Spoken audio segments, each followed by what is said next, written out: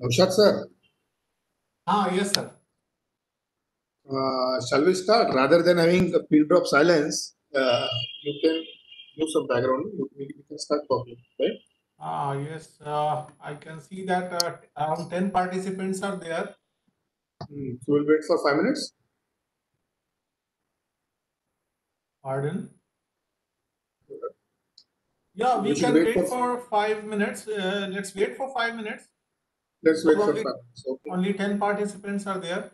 And uh, I think uh, it is going to be five now. So time, so uh, more participants will join within five minutes, I think. Okay, we'll wait for five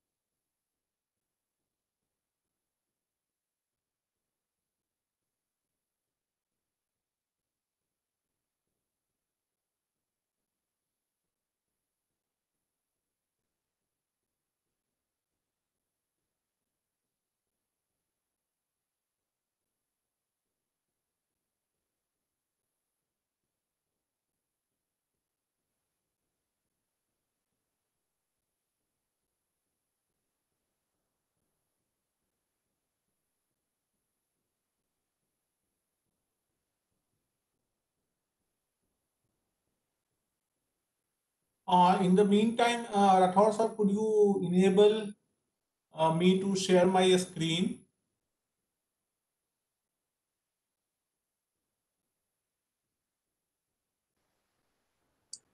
Okay, no problem. You want to test or uh, No, no, means uh, you uh, just enable me to share my Okay. screen and then uh, that I will. okay, okay.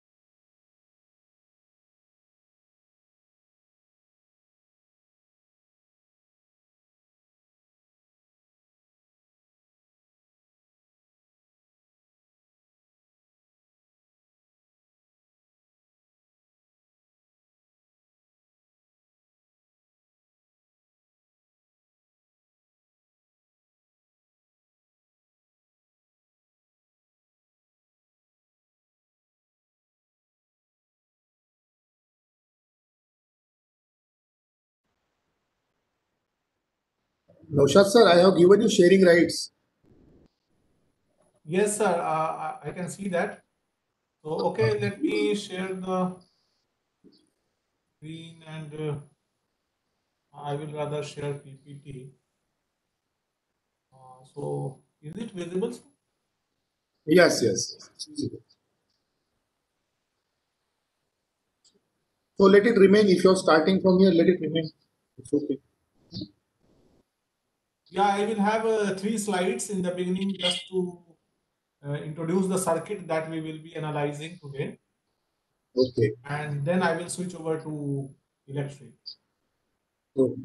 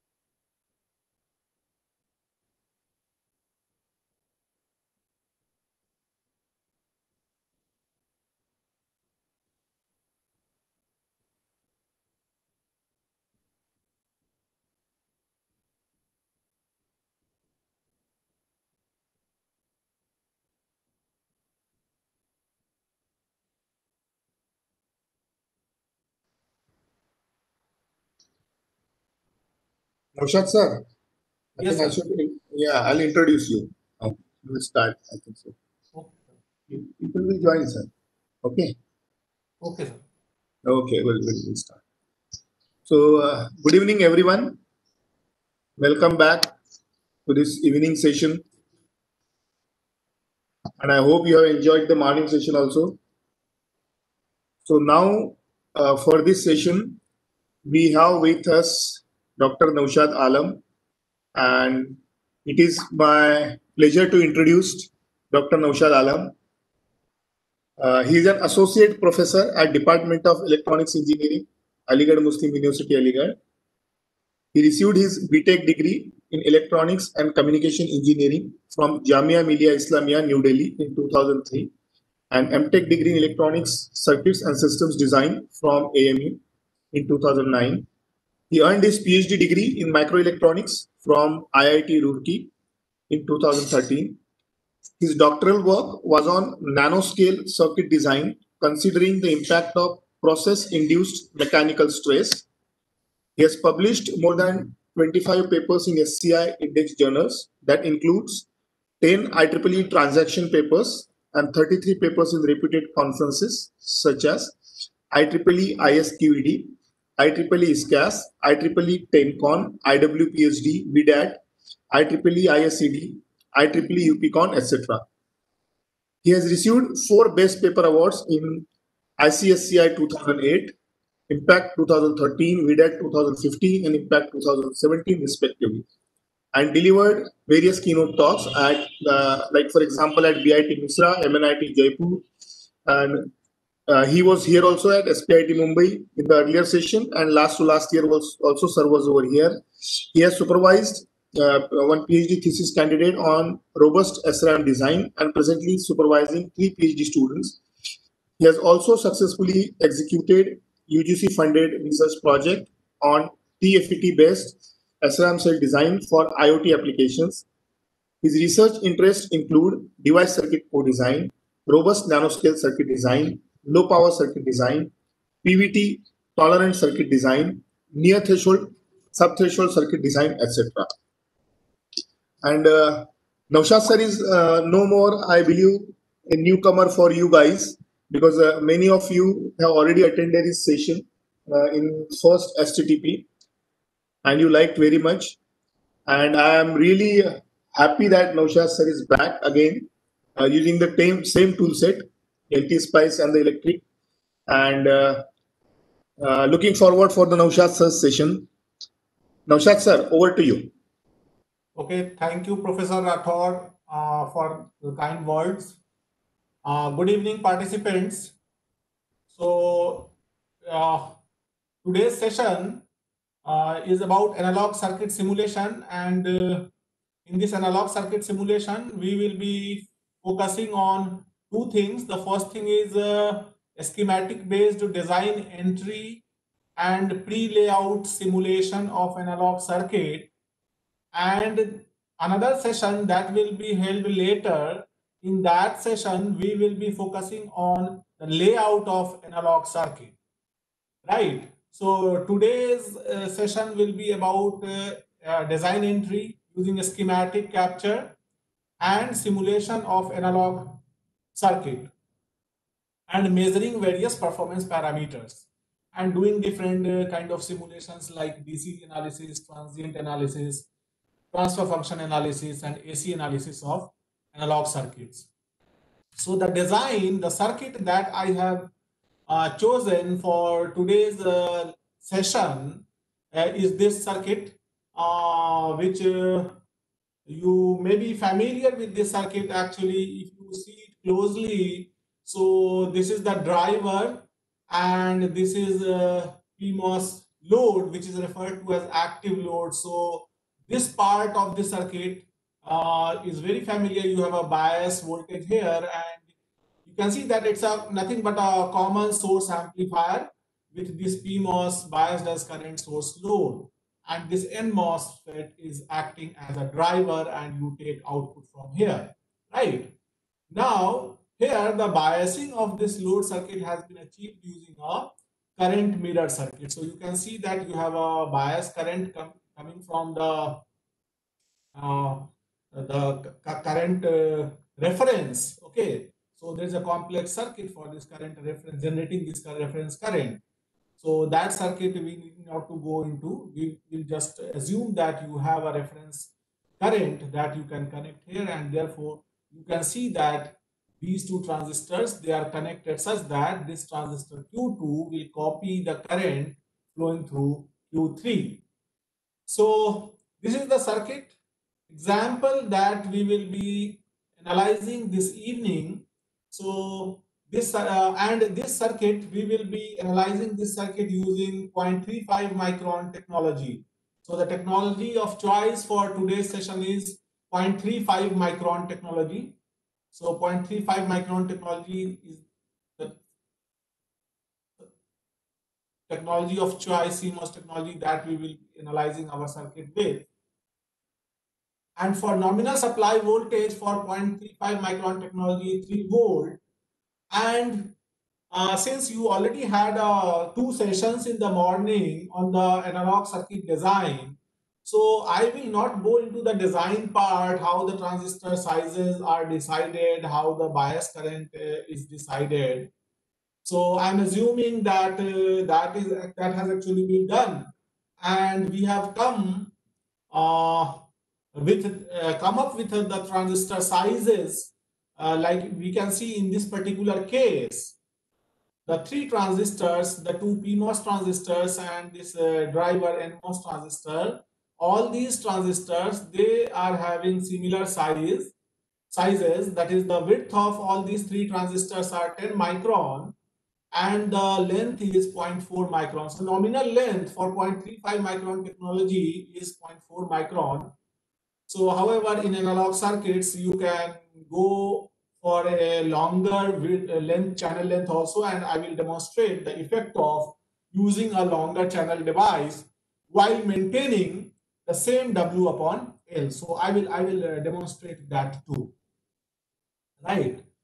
And if we talk about the bias current, so bias current uh, is often uh, governed by the power constraint given for a circuit.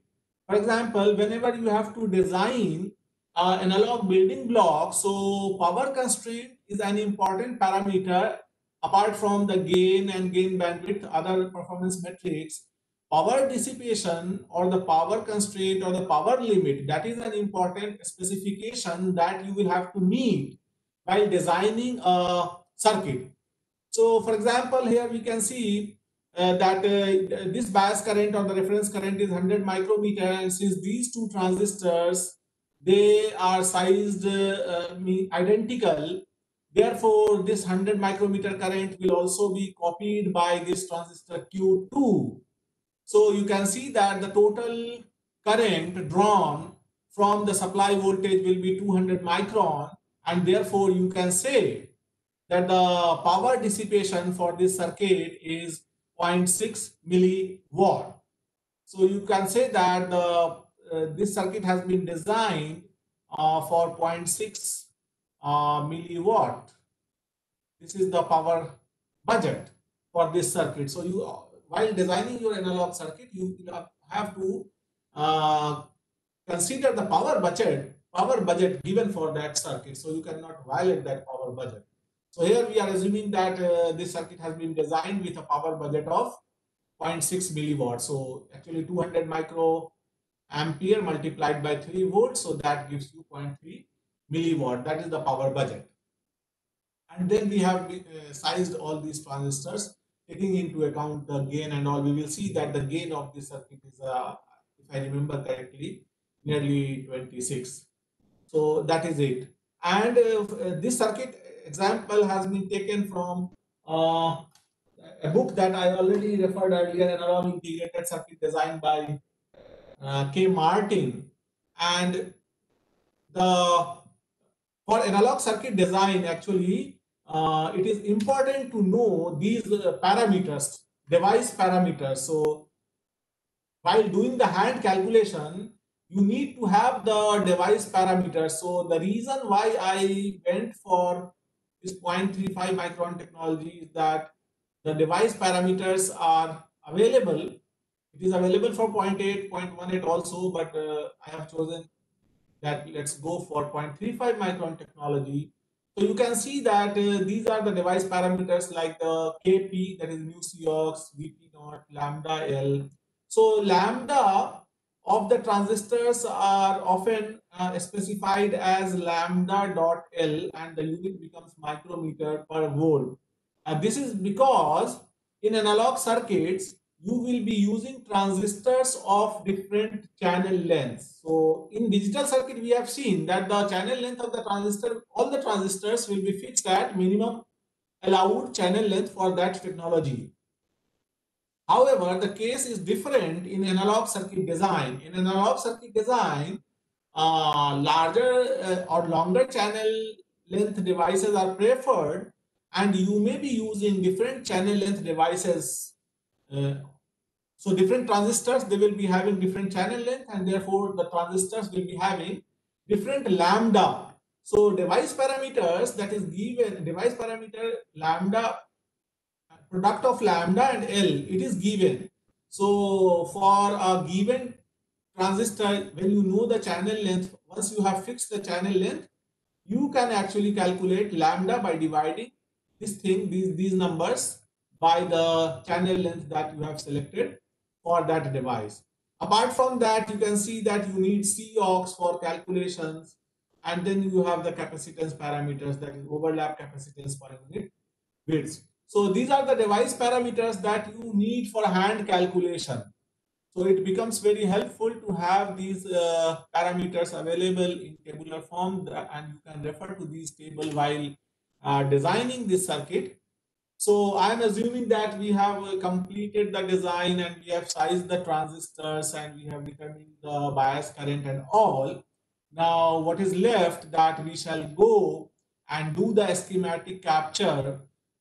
That is, we shall enter the uh, schematic of this design into the simulation tool and then we analyze uh, this circuit and do different kind of analysis that are done for analog circuits.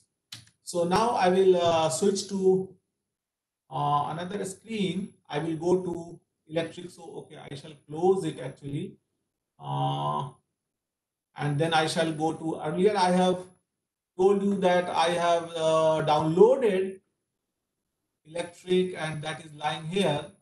So when I double click on this electric binary, I invoke this binary. So uh, sir, can you confirm that this electric window is visible there? Yeah, yeah, visible, no problem. Okay, thank you. Uh, so I have invoked electric and uh, for this uh, I have created a library which is called analog simulation library. For this session, I have created this library and uh, I have created some example schematic also, but I will be doing a schematic entry right now. So before that, what we need to do actually, once you have created this library, analog simulation library, we need to certain uh, fix certain parameters by going into the preferences.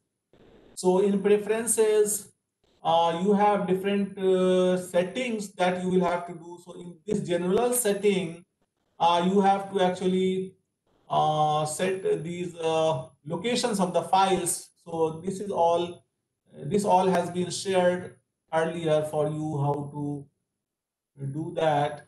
What is important is uh, tools like uh, Spice. Uh, so this also has been shared with you how to integrate LT Spice because this electric VLSI design system, the tool that we are going to use, you can use this for schematic entry and for doing the layout However, for doing simulation, uh, the SPICE engine that we will be using has taken uh, or has been chosen as LT SPICE. So LT SPICE is the SPICE engine that will be used for SPICE simulation.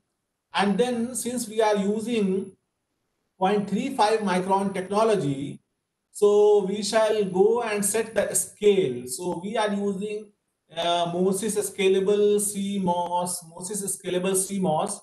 So since I am using 0.4 micron as the minimum channel length for this 0.35 micron technology, I have set the lambda as at half of that. So you can see that I have set lambda at 0.2 micron because in lambda based rule, the channel length, the minimum channel length is given by 2 lambda. So that is why I have set this at the half of that value. So that is it. And then uh, I have done that, all those settings. So it is there. Now, once we have uh, set our preferences for the design, now we are ready to go ahead and enter the schematic of the circuit. So, Naushad sir. Yes. Naushad sir. Yes. Uh, uh, what I think uh, there are uh, many other new participants. So can you repeat? Uh, I request you to repeat these steps because uh, they need to understand no, what has happened in, in, in, five minutes. Yeah, from the frequency in five from preferences in five minutes, and that small window that you get now. If you if you zoom that means okay, just click on that, sure. Sure. Ah, sure. it will be better. Okay. Okay. Thank you. Thank you. I will do it. I will do it. Yeah. So what I say that once you invoke, once you invoke electric, once you invoke electric, before you uh, go and start doing that, for example, those participants who have worked on uh, Cadence or other commercial tools, so you must be knowing that before you enter, uh, uh start your design entry, you need to do the technology binding. That is, you need to bind a PDK or bind a technology with your project. So similarly, the uh, library that I have created, analog simulation. So library you can create by going into file and you can click new library and you can just uh, give a name to your library. For example, you can give any name. So I have given it as analog simulation. So, okay, if, if I have to give it another name, I can give it uh, like uh, SPIT underscore SPTP underscore analog. So once I give this name, you can see that a new library has been created, SPIT, STTP analog. Now this is the library where we will be uh, entering our circuits. So our circuits will actually be stored in this library. So once you have created this library, the next thing is to uh, set parameters or preferences, and that is that corresponds to actually uh, technology that you bind with your project in commercial tools. So you will go to files and in file you have preferences. So in these preferences you have multiple options actually. For example, uh, if you talk about this general, so in general you have uh, these preferences.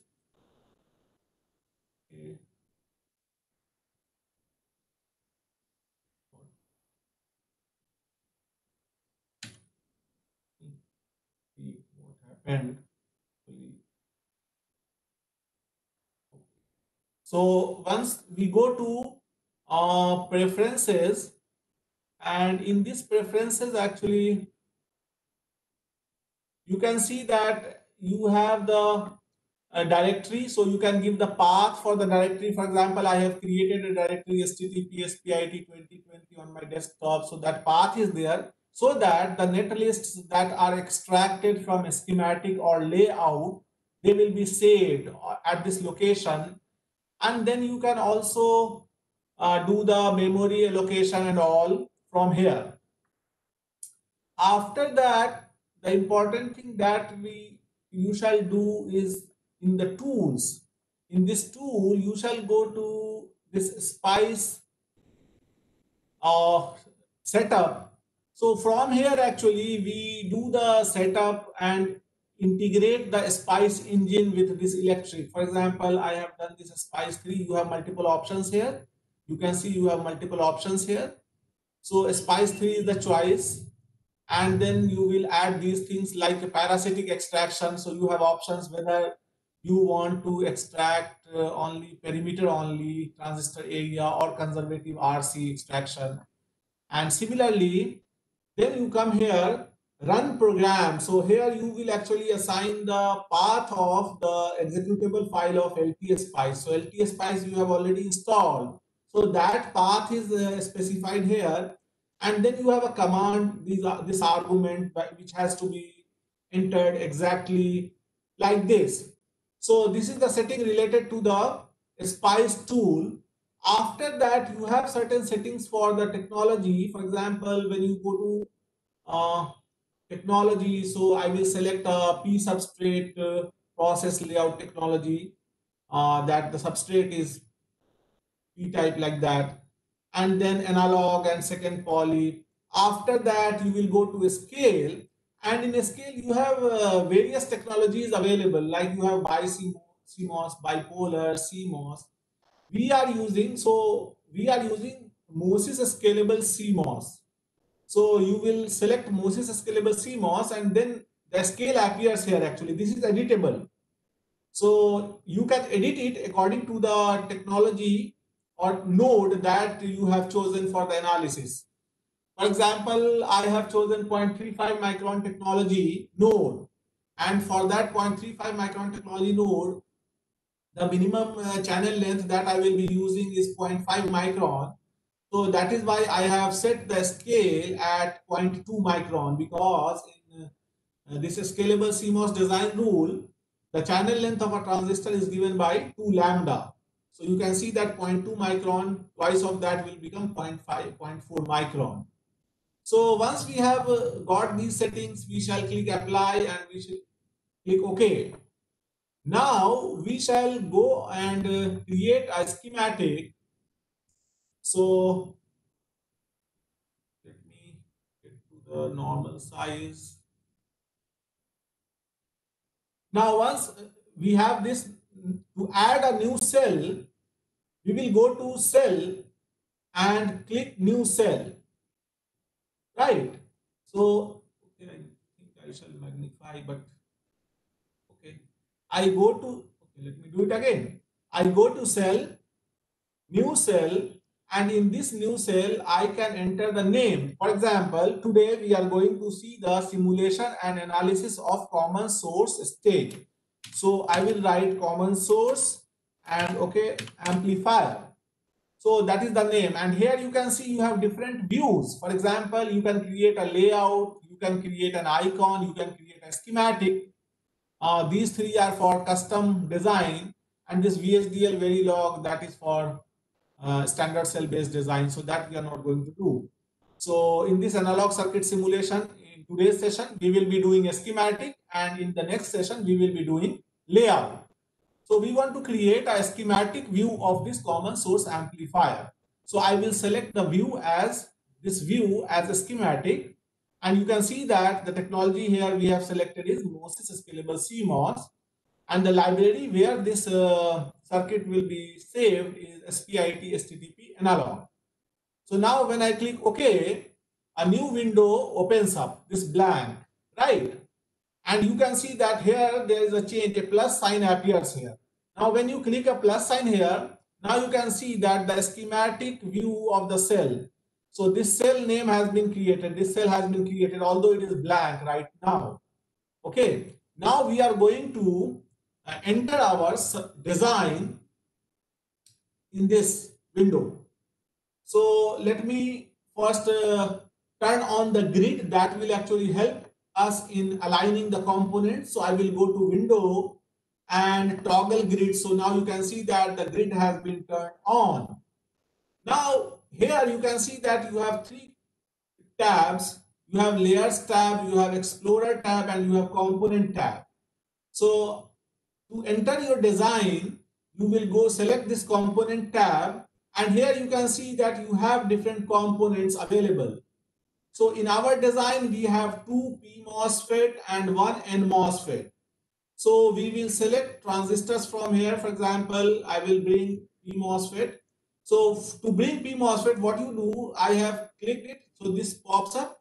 I will click on say uh, this PMOS. So left click release the mouse button so that actually that transistor got attached with this mouse now bring it here and left click again so now you can see that transistor has been placed similarly i will again go there left click then left click on this pmos then release, release the mouse button bring it here it is attached to the mouse then you left click and you can see that the transistor is placed now I need one N MOSFET that is the driver. So I will again go here and I will click on N MOSFET. So N MOSFET got attached to the mouse and then I click here. So that got placed here. And apart from that, I need one current source.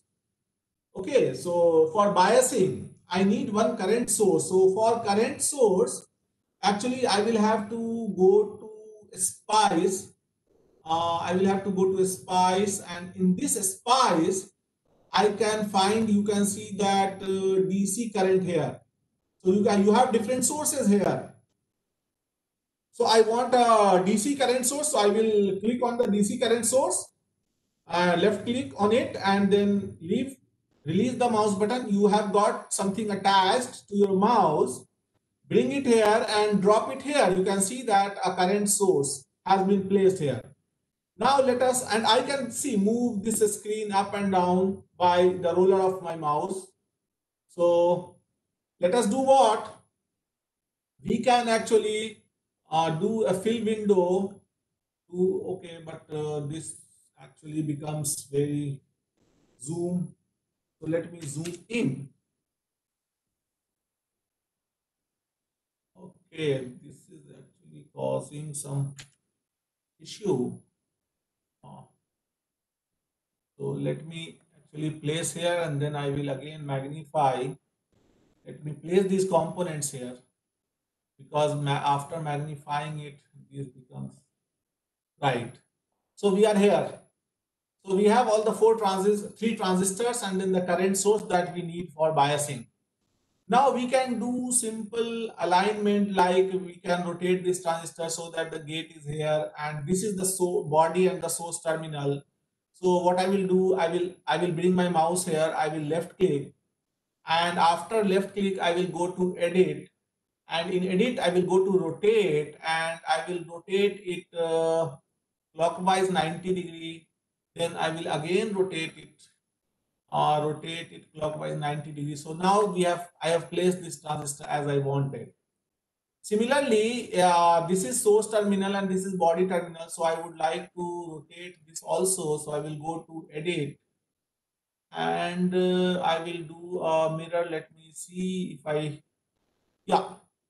So you can see that the body terminal, because this is PMOS and I know that the source and body terminal that will be connected together and then I can do little alignment so the transistors are aligned and this transistor is okay. Uh, let me also align it with this. Uh, with I can actually move these transistors by left clicking so that it got selected and then with arrow key also I can move these transistors as per my requirement right now after that we need to uh, do the sizing of these transistors, right? So for doing the sizing of these transistors, what we will do, uh, and one thing I would like to tell you that the larger number, the number which uh, larger size number, that is actually the width of the transistor, and the smaller size number is the length of the transistor. Because we have rotated it, that is why the appearance has become like this. For example, for N MOSFET, you can see that it is the width is this width and right now the width is 2 lambda and length is 2 lambda. So I will go here. Now you see the scale that I have set is 0.2 uh, micron. So for uh, 0.4 micron, the length will be 2 lambda and the width, how much shall be the width for 10 micron? So 10 micron, this shall be 50 lambda. So now you can see that 50 lambda. So 50 lambda is the width and 2 lambda is the uh, length of the transistor. Similarly, I can go and double click and make the width 50 and then this is 2 lambda. So this is it. Then I can go and make the width 50 and this is 2.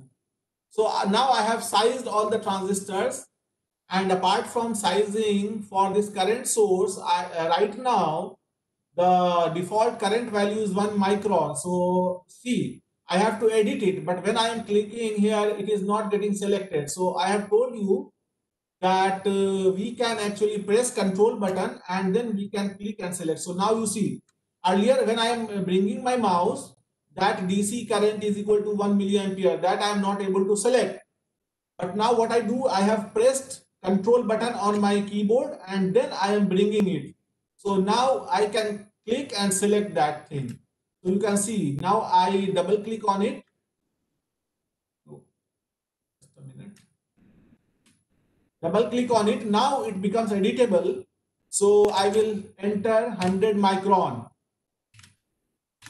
So now I have modified the bias current 200 micro ampere. Now I shall uh, align it actually. So that's it. Now I'm ready to do connections. So let us quickly do the connections. So for connections, what you do, you bring your mouse here, left click and bring your mouse here, right click. You got the connection. Similarly, I have to connect this and this. So left click, release the mouse button, right click here. Got it connected.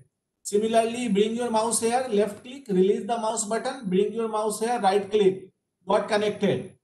Similarly, uh, left click here, right click here, right click here, and right click here, got connected.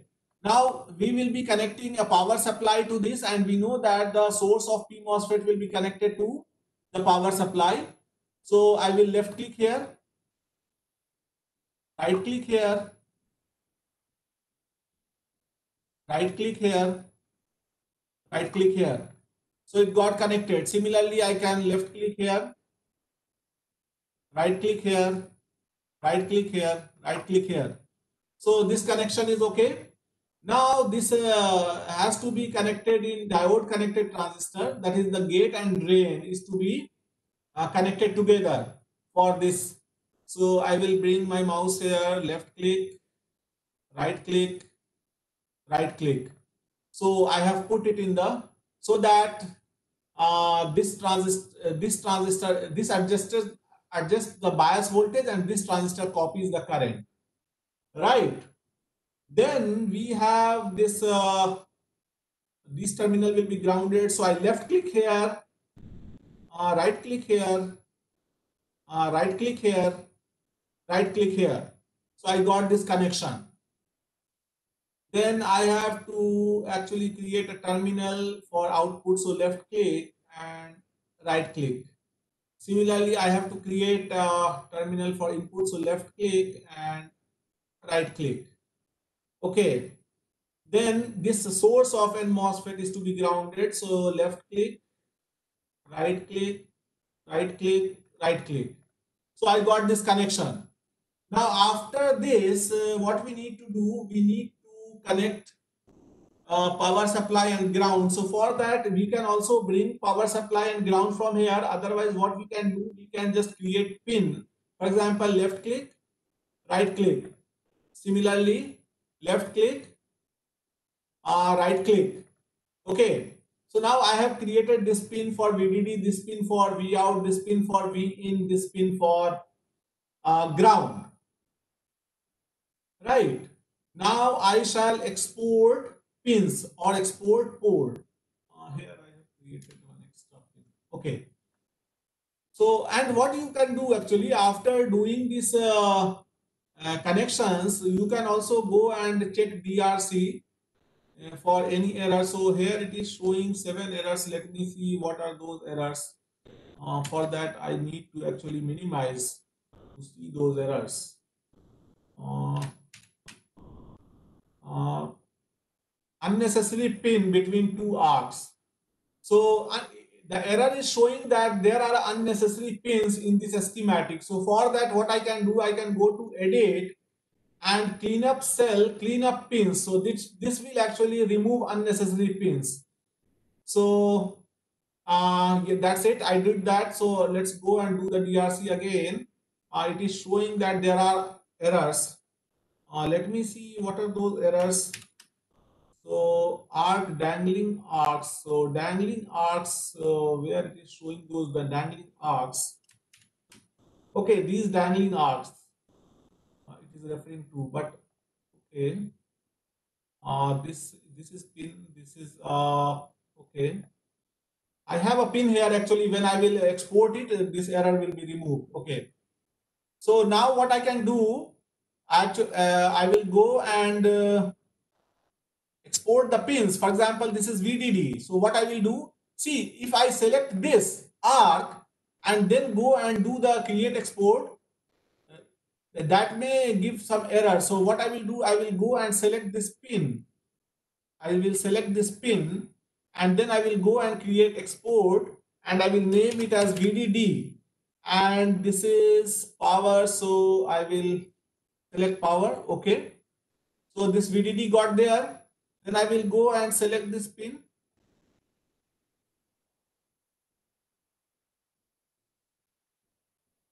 What happened? Select this pin and then I will go and export and ground. Ground and this is ground. So, okay. So I have created that uh, ground also. Then we have this V out. So I will select this pin. I will go to export, create export and V out. So this is output. So I will select it as output. Okay. And then you can also go and adjust it like this. No issue. Then we have this input. So I will go there and I will uh, create export, create export, V in, and this is input. Okay. So that's it. We have created, we have exported. After that, now we need to set the spice model for these transistors. We have not yet set the spice model for these transistors.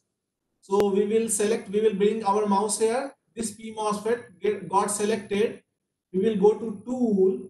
Then we, we will go to simulation spice and set a spice model. So you can see something appeared here. So actually the name we want to put it is PMOS. Uh,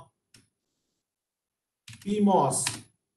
Right. So you can actually move it with the help of your arrow key. Similarly, I will select this transistor, go to tools and uh, set a spice model. So again, I can select it and PMOS. So that's it Uh, I can just move it with the help of arrow key.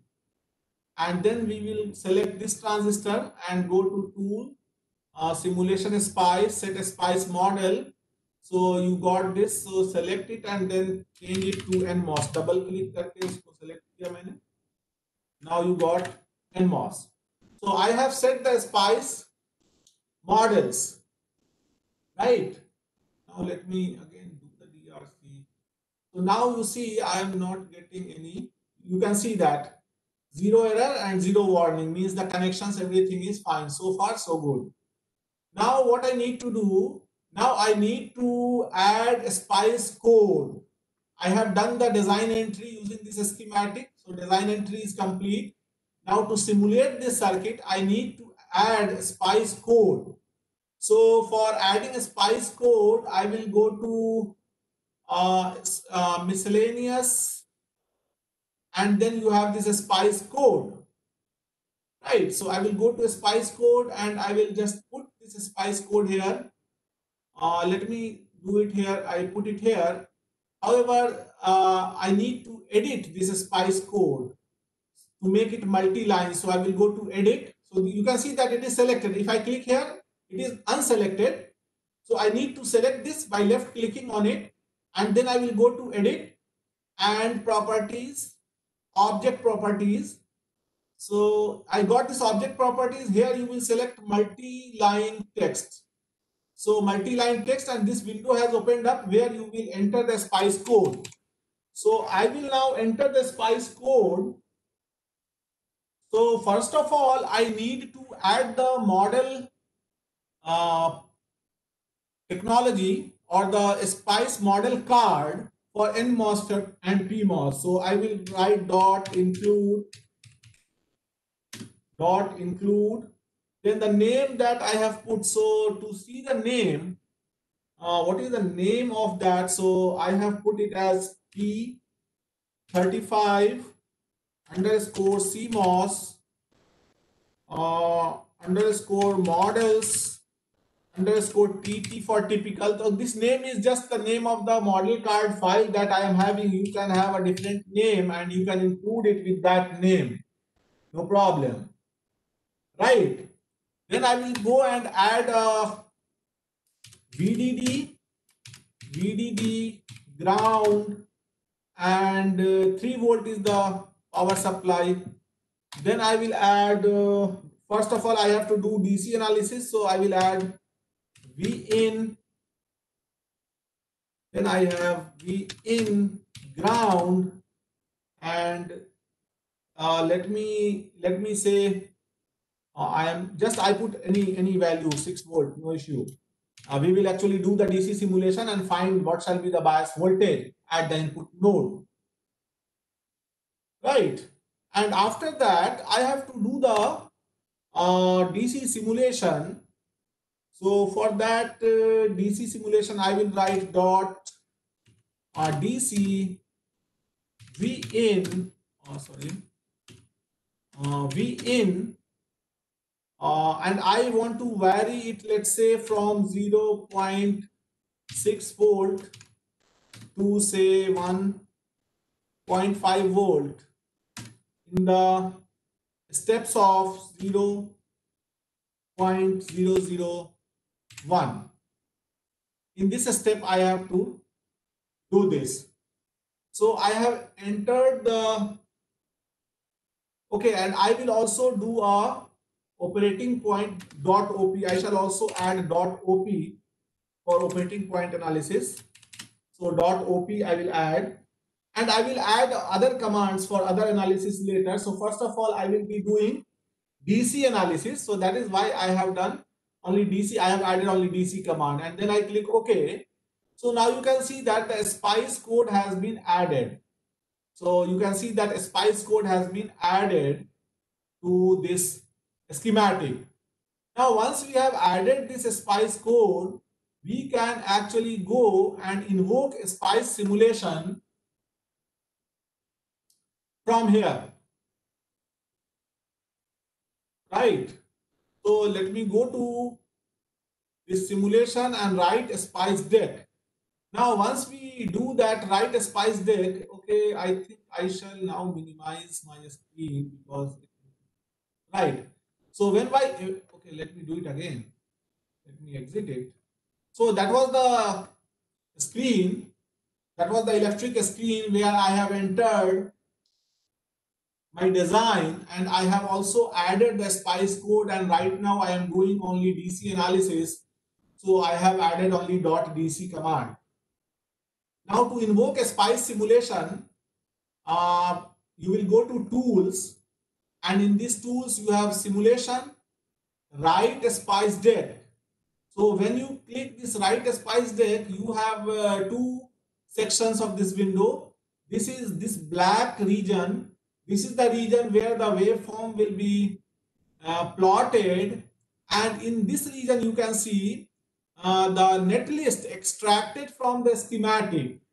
So that electric actually generated a netlist and uh, most of you must be most of you may be familiar with this netlist. For example, if I magnify it to show you, you can see this netlist and most of you will be familiar with this netlist. You can see that it is writing in stand for transistors like uh, M NMOS and NMOS, the drain of N MOSFET is connected to V out, gate is connected to V in, and then the source and body is connected to ground, and the model name is NMOS. And here you can see that the length is 0.4 micron and width is 10 micron. Similarly, similarly, you have two PMOS transistors, two instances of PMOS transistors. And again, the size we have already seen that uh, they are also of identical size. That length is 0.4 micron and width is 10 micron. So you have that. And then you have the current source. So IDC, so this is the default name that it has extracted from there. You could have assigned a name like M1, M2, M3 also, and you have you could have assigned a name to this current source also, but it's okay. And this is connected between uh, this node net at 14 and ground. And this you can see that the current is 100 microampere. That is the bias current. So this part of this netlist has been extracted uh, by the has been extracted uh, from the schematic. So you you draw the schematic, and that electric extracts this netlist from that schematic right. And then here you have those commands a spice code that you entered. So you have the spice code that you entered. There so you can see that the dot include command that includes the model file. Okay and then you have the supply voltage definition then you have input voltage bias definition. And then you have the command dot uh, command for operation. So op is for operating point analysis and dc for dc analysis and this dot end has been added by the electric right? So this is how uh, you can get the netlist extracted from the schematic using electric. Now we have done the simulation and we have done the dc simulation. So first of all first of all what we shall do actually we shall plot the current flowing through this transistor. Because we have designed this circuit and sized the transistor such that this 100 microampere current shall be copied by this transistor. Means the current flowing through the drain of this transistor shall also be 100 microampere. However, we are sweeping this V in. So actually with V in, the current flowing through this transistor changes. So we have, we can actually select the required DC bias for this driver from this analysis. So what we can do, we can plot ID NMOS. So let me locate ID. Okay, ID NMOS. Uh, yes. So this is ID NMOS. So this is ID NMOS. You can see. Uh, so you can see that on the x-axis you have input voltage. You have swept input voltage from 0.6 volt to 1.5 volt, and this is ID going from around 10 microampere to say 130 microampere anyway. So now we have to actually select the input voltage at which the current through the driver is 100 microampere because that is the bias current. So what I can do, I can bring my mouse here. So you can see that my mouse changes to this finger. And when I left click, so when I left click, a cursor got attached to this plot. Now I can move this cursor and you can see that the reading of this cursor here. You can see the reading of this cursor here. Okay, let me magnify. So you can see the reading of this cursor here. So this reading is horizontal axis that is the input voltage and this reading is for the vertical that is current. So right now your cursor is at uh, 122 microampere. I will bring it down to 100 microampere So you can see that now it is at 100 microampere, right? And at 100 microampere, the input voltage is 800. So if you want to be more accurate, uh, okay. So your bias voltage becomes uh, 798.5 millivolts. So I will approximate it to uh, 0 0.798 volts.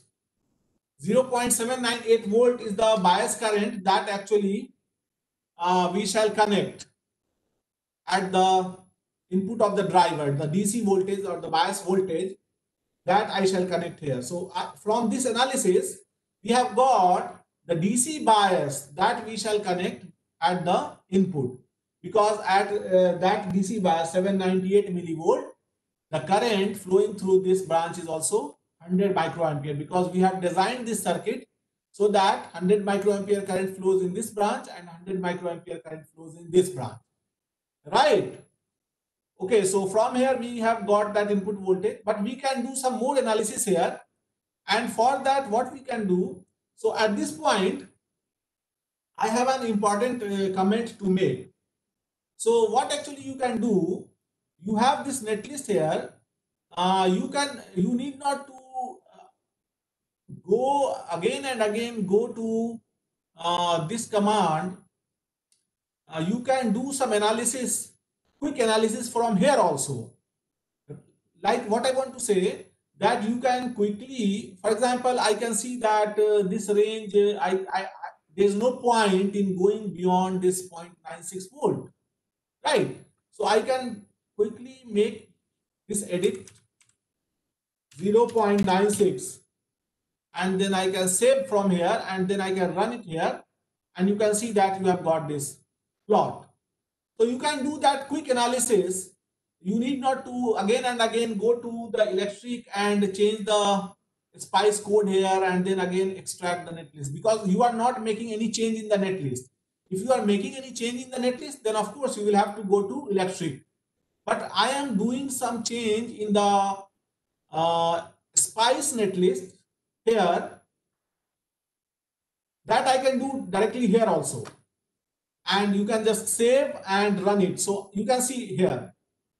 Now what I can do, I can now plot uh, V out. So this, this was ID by from the ID plot, I have actually got the bias voltage that I shall connect at the input right?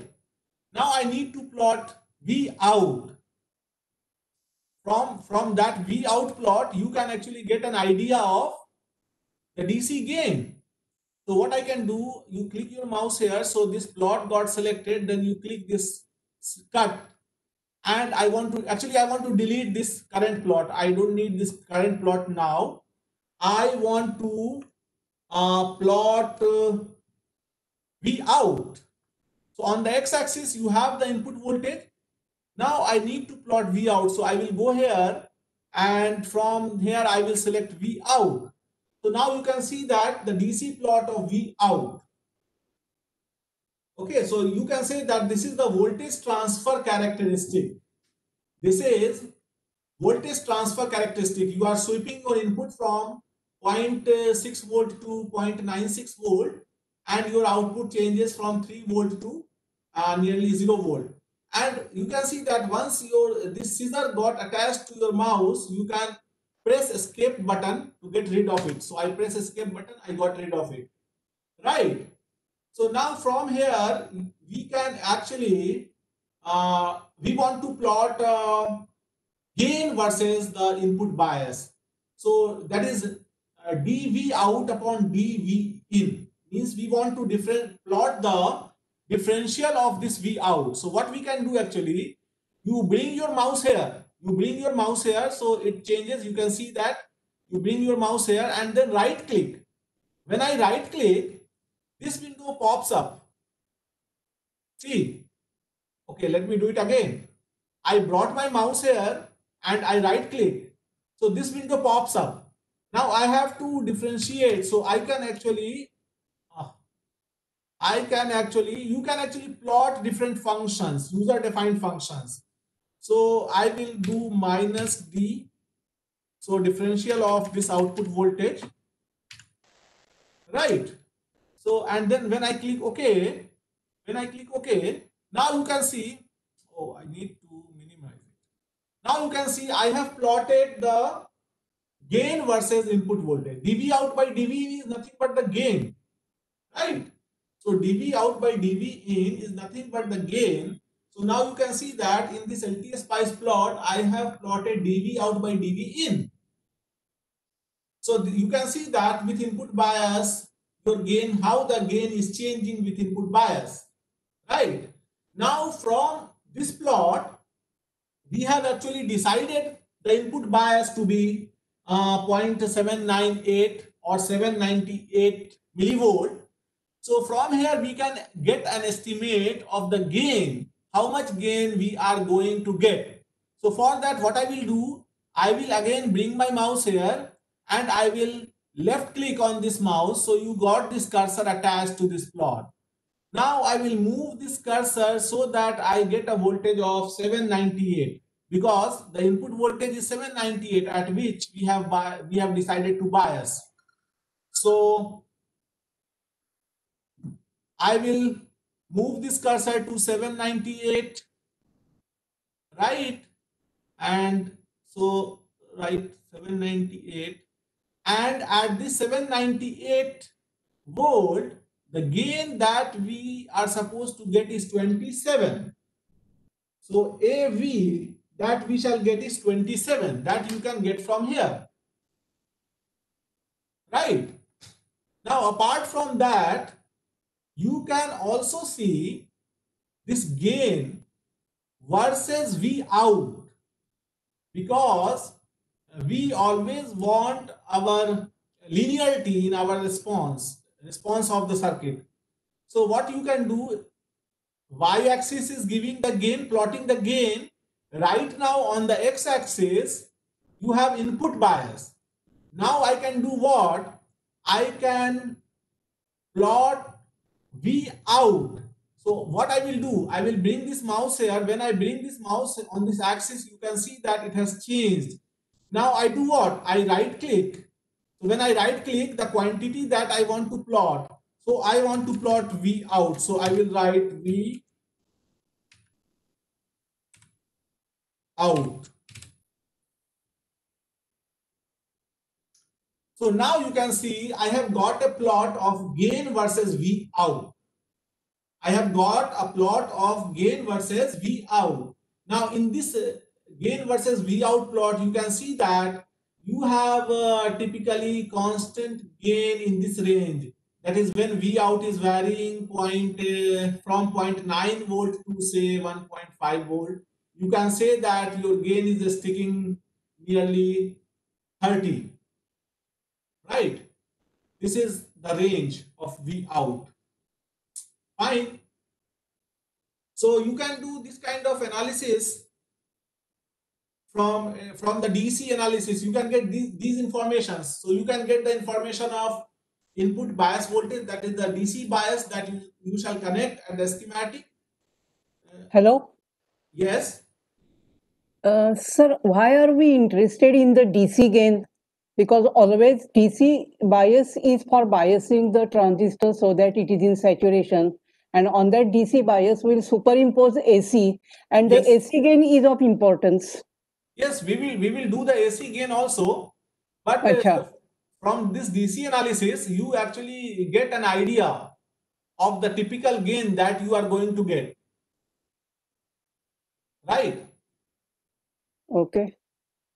So you, you can get those kind of information. So you you must be aware of the voltage transfer characteristics, and from that voltage transfer characteristics, we get the gain versus input voltage plot, gain versus output voltage plot. So you can get uh, some useful information from here. Is that fine? Okay, okay, sir. Okay. Go ahead. So these are the informations that we can extract from DC analysis. Fine. And another thing that we can get from this uh, operating point uh, analysis is, uh, let me, yeah. So you can actually get the,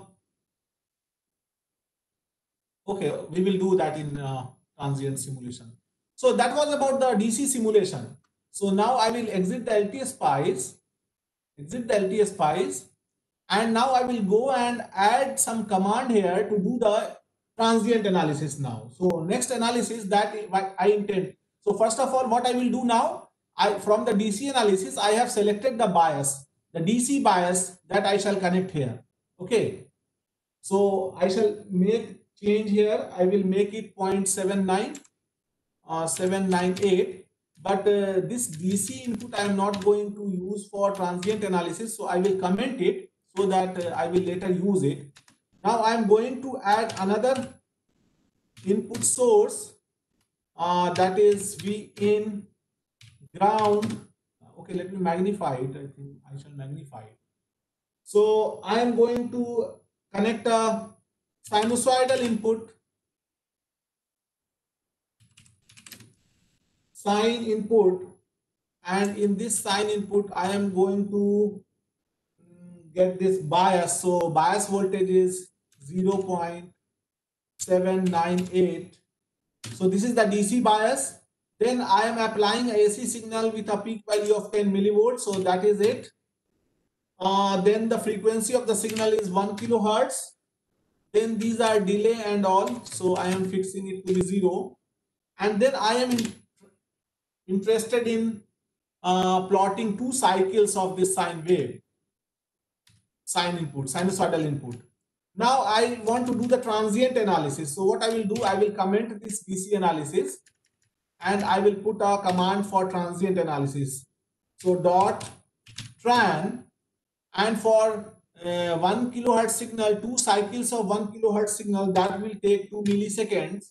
So I will put dot tran and the simulation time of two milliseconds, right? So that is it. I have added the modified the code. I have modified the code for uh, transient analysis. So I will again go to the tools and again go to spice and write spice deck. So to minimize it. So I have got again, again I have got this uh, spice window that is invoked from that electric. So now we can plot input and output voltage. For example, we can see input voltage. So this you can see that this is the input voltage. You can see the average voltage is 0.798. The DC bias voltage at the input is 0.798. And then the peak value is 10 uh, millivolt. So peak to peak value actually is 20 millivolt. right? Now I want to see the output. So for seeing the output, I will add another uh, plot pane because uh, the magnitude of the input and output is quite different. And then I will go here and I will select V out now.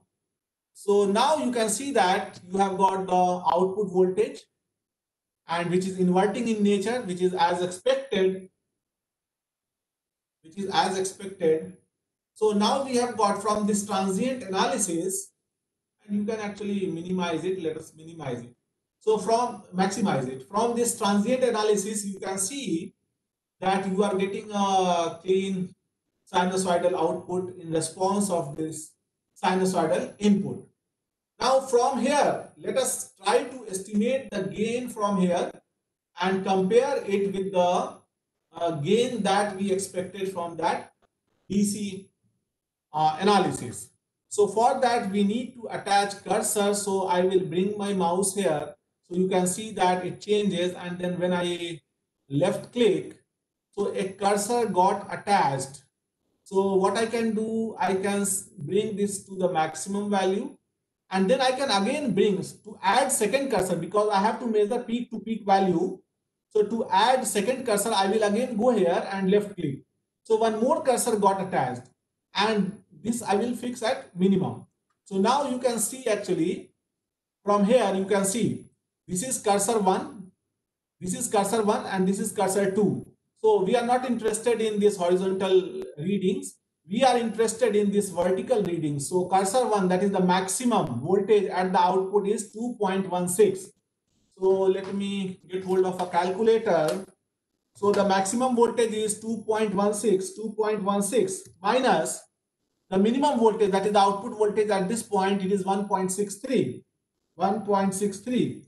So the total voltage change, that is delta V out. Delta V out, I can say is 0.53. So 0.53 is the delta V out. Similarly, I have I know actually I know the delta V in because I have assigned the input signal. So there I define the peak value to be 10 millivolt. So peak to peak becomes 20 millivolt, right? So now the output is uh, 530 millivolt peak to peak. So when I divide 530 by 20, so I get 26.5. So I get a gain of 26.5 from this AC analysis. Right? Is that clear? So we did the AC analysis and we got the gain of 26.5, which is very close to what we estimated from the DC analysis.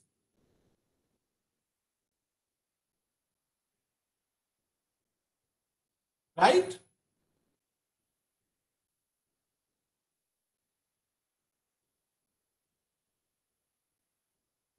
So that is how that is how you can actually uh, let me minimize it. It is already minimized.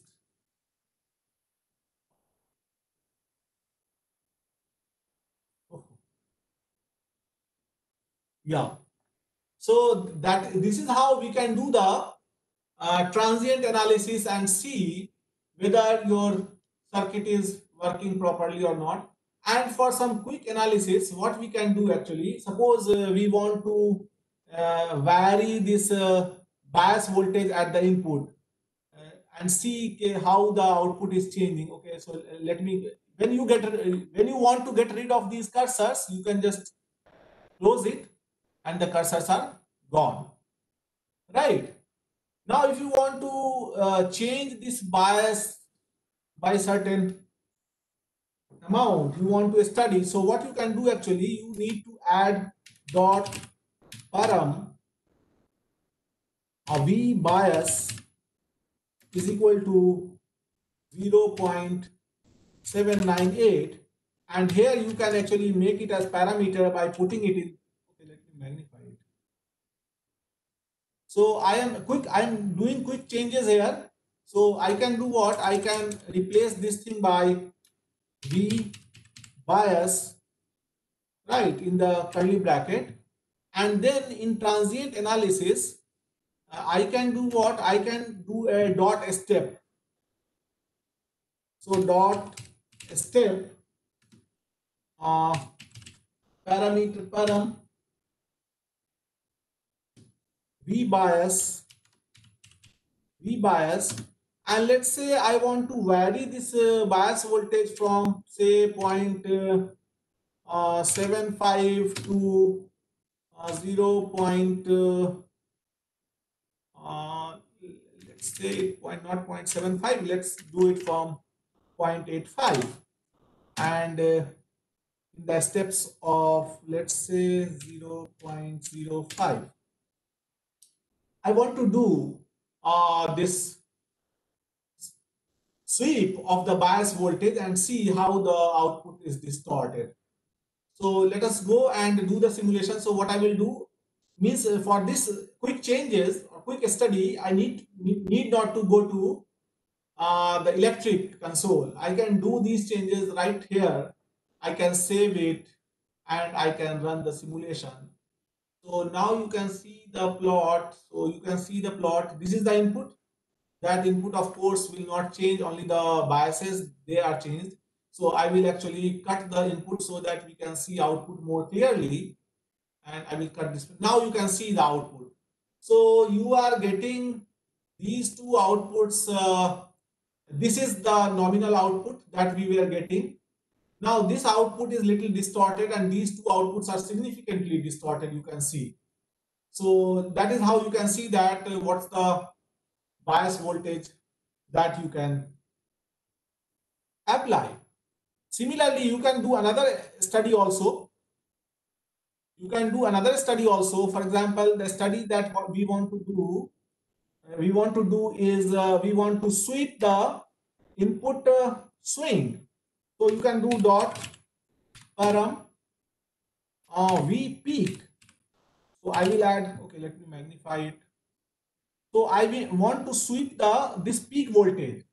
So I will add a parameter uh, let me say that is 10 milli is of course the nominal. Now what I will do here, rather than using this fixed value, I will actually put this uh, parameter V peak and now I will do a step dot step and here I will write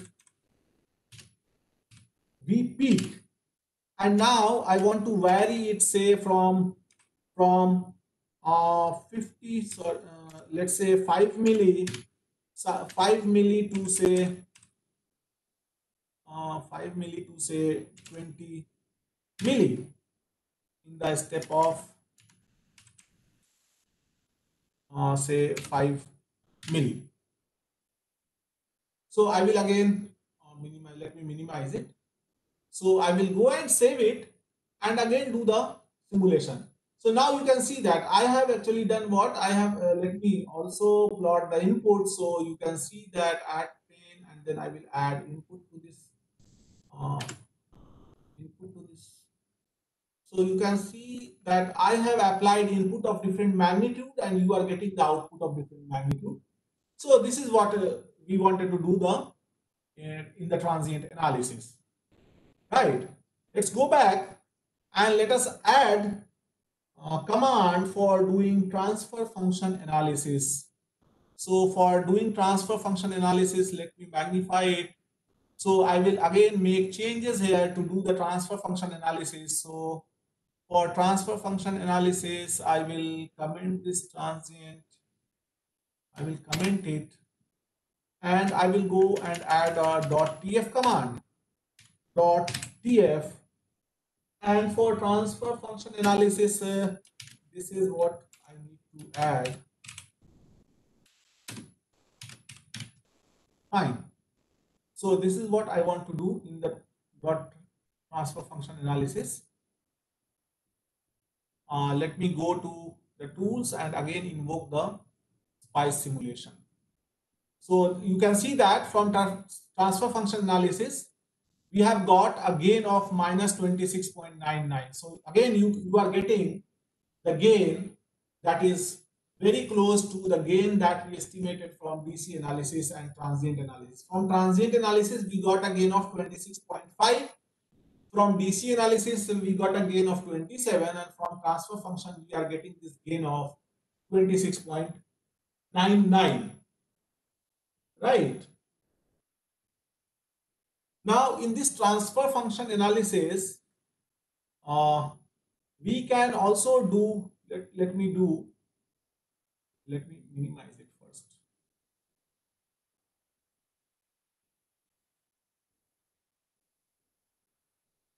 Yeah. So in this transfer function analysis, what I can do, uh, I can, for example, suppose I want to vary temperature and I want to see how the transfer function changes with temperature. So for that, I will add a dot step command for varying temperature. So how we can do that?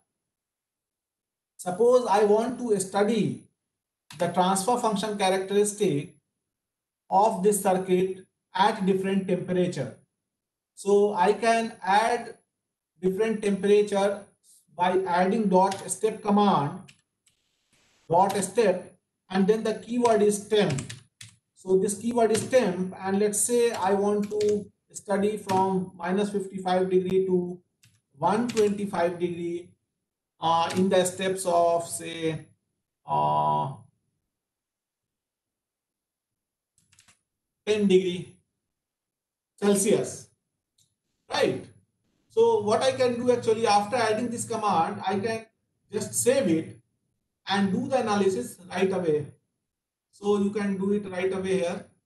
Now a plot window has actually popped up. Earlier when you did transfer function analysis, this plot window was not popped up because you had only single value for those functions that is a transfer function, input impedance and output impedance.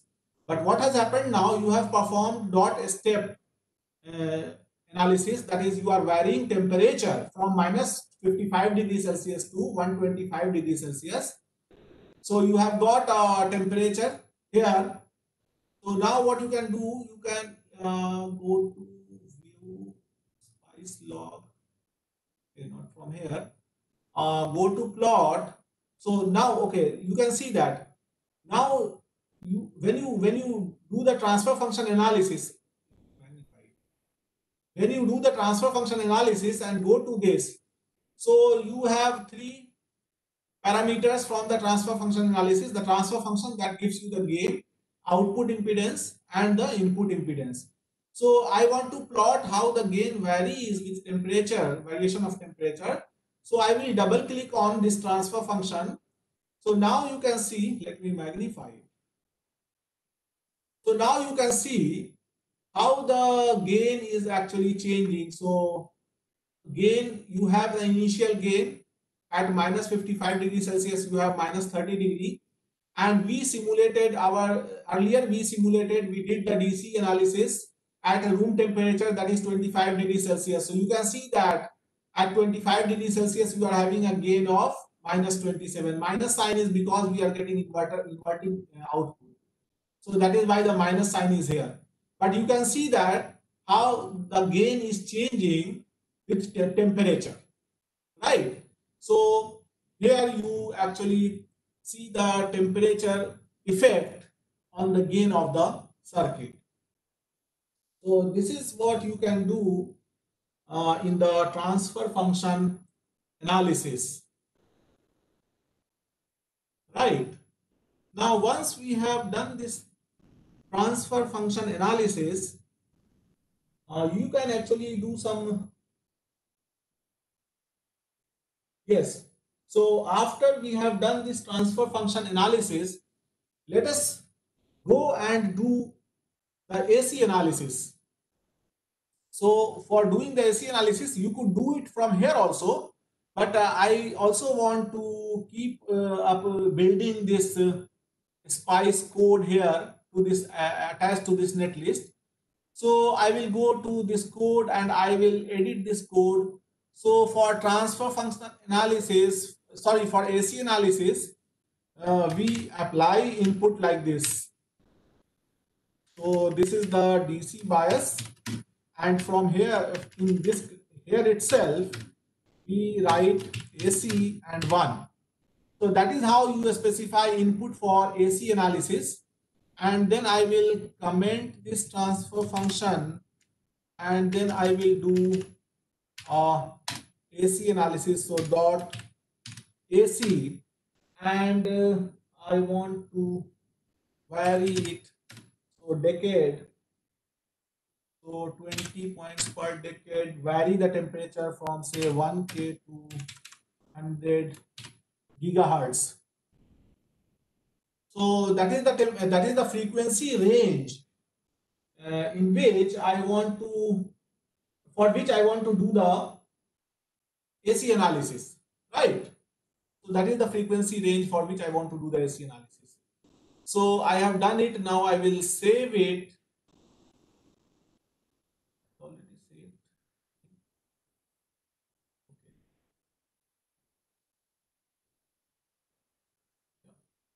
Okay.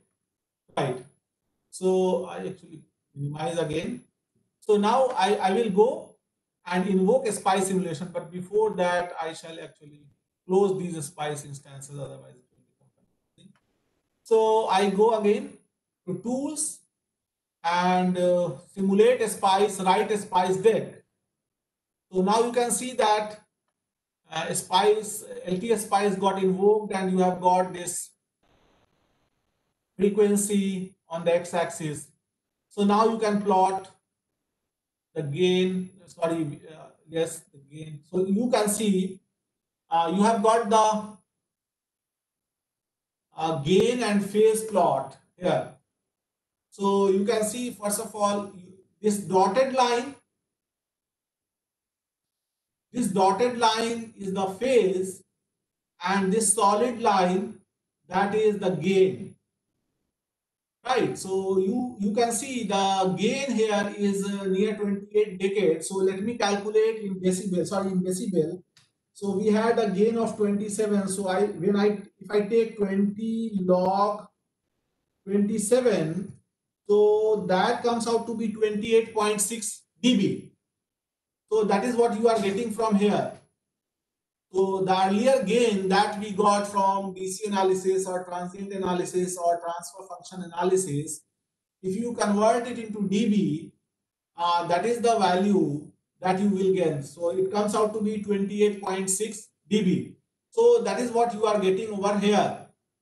And since we don't have any load capacitance connected at the output node, and we have uh, we are doing pre-layout simulation, so parasitic capacitances are also uh, very small, means uh, only the overlap capacitances are there. So because of that, what you see that you are actually getting a very high unity gain bandwidth. So means uh, to get the unity gain bandwidth, actually you will have to increase the frequency range because in this range you are not going to 0 dB. So if I increase the frequency range to say 200 so and run it again it's still not going to uh, 0 dB. And th th that's okay so let us do what? Uh, we can actually uh, connect a okay let me let me do what? Let me increase the frequency further still not going to that. So let us connect a small load capacitance. Uh, I will do it here itself just to demonstrate that when you have a certain value of load capacitance connected at the output, uh, then you will have uh, some so V out, V out, ground, and 1.5 uh, pico. So I have connected a load capacitance of 1.5 picofarad at the output so that we get uh, some reasonable value here. So I save it again and when I click, so now you can see, now you can see, so this is more, this is a, a better uh, frequency response, more realistic frequency response rather, I shall say.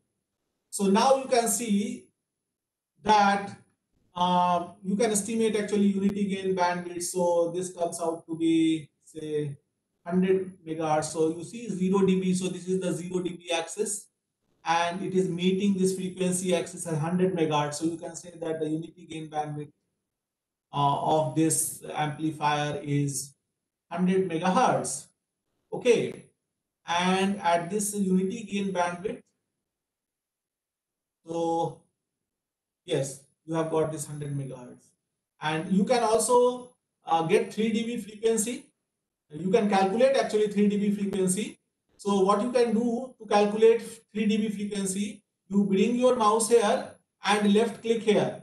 So your, your cursor got attached uh, to this gain plot. So what you can see, you can see that the magnitude, maximum gain is 28.6 dB. Okay, so minus 3 dB means you shall go to 25.6 dB. So you bring it down 25.6 dB. Uh, we are here 26.5 dB. You can see that. So at this 26.5 dB, 25.6 dB, let me magnify. So you can see that uh, we, we were interested in getting a minus 3 dB frequency. That's the bandwidth. So you can see that I, using the cursor, I am doing this. So at this point, maximum gain that you have is 28.6 dB. So I have brought this cursor so that your uh, gain is 25.58. So I am assuming that this is 25.6 dB. And at this point of time, the frequency is uh, 3.6 megahertz. So this way you can actually uh, do the AC analysis and you can measure the uh, 3 dB frequency and measure the parameters related to your gain and the phase. So once we have done this, now I will go ahead and demonstrate a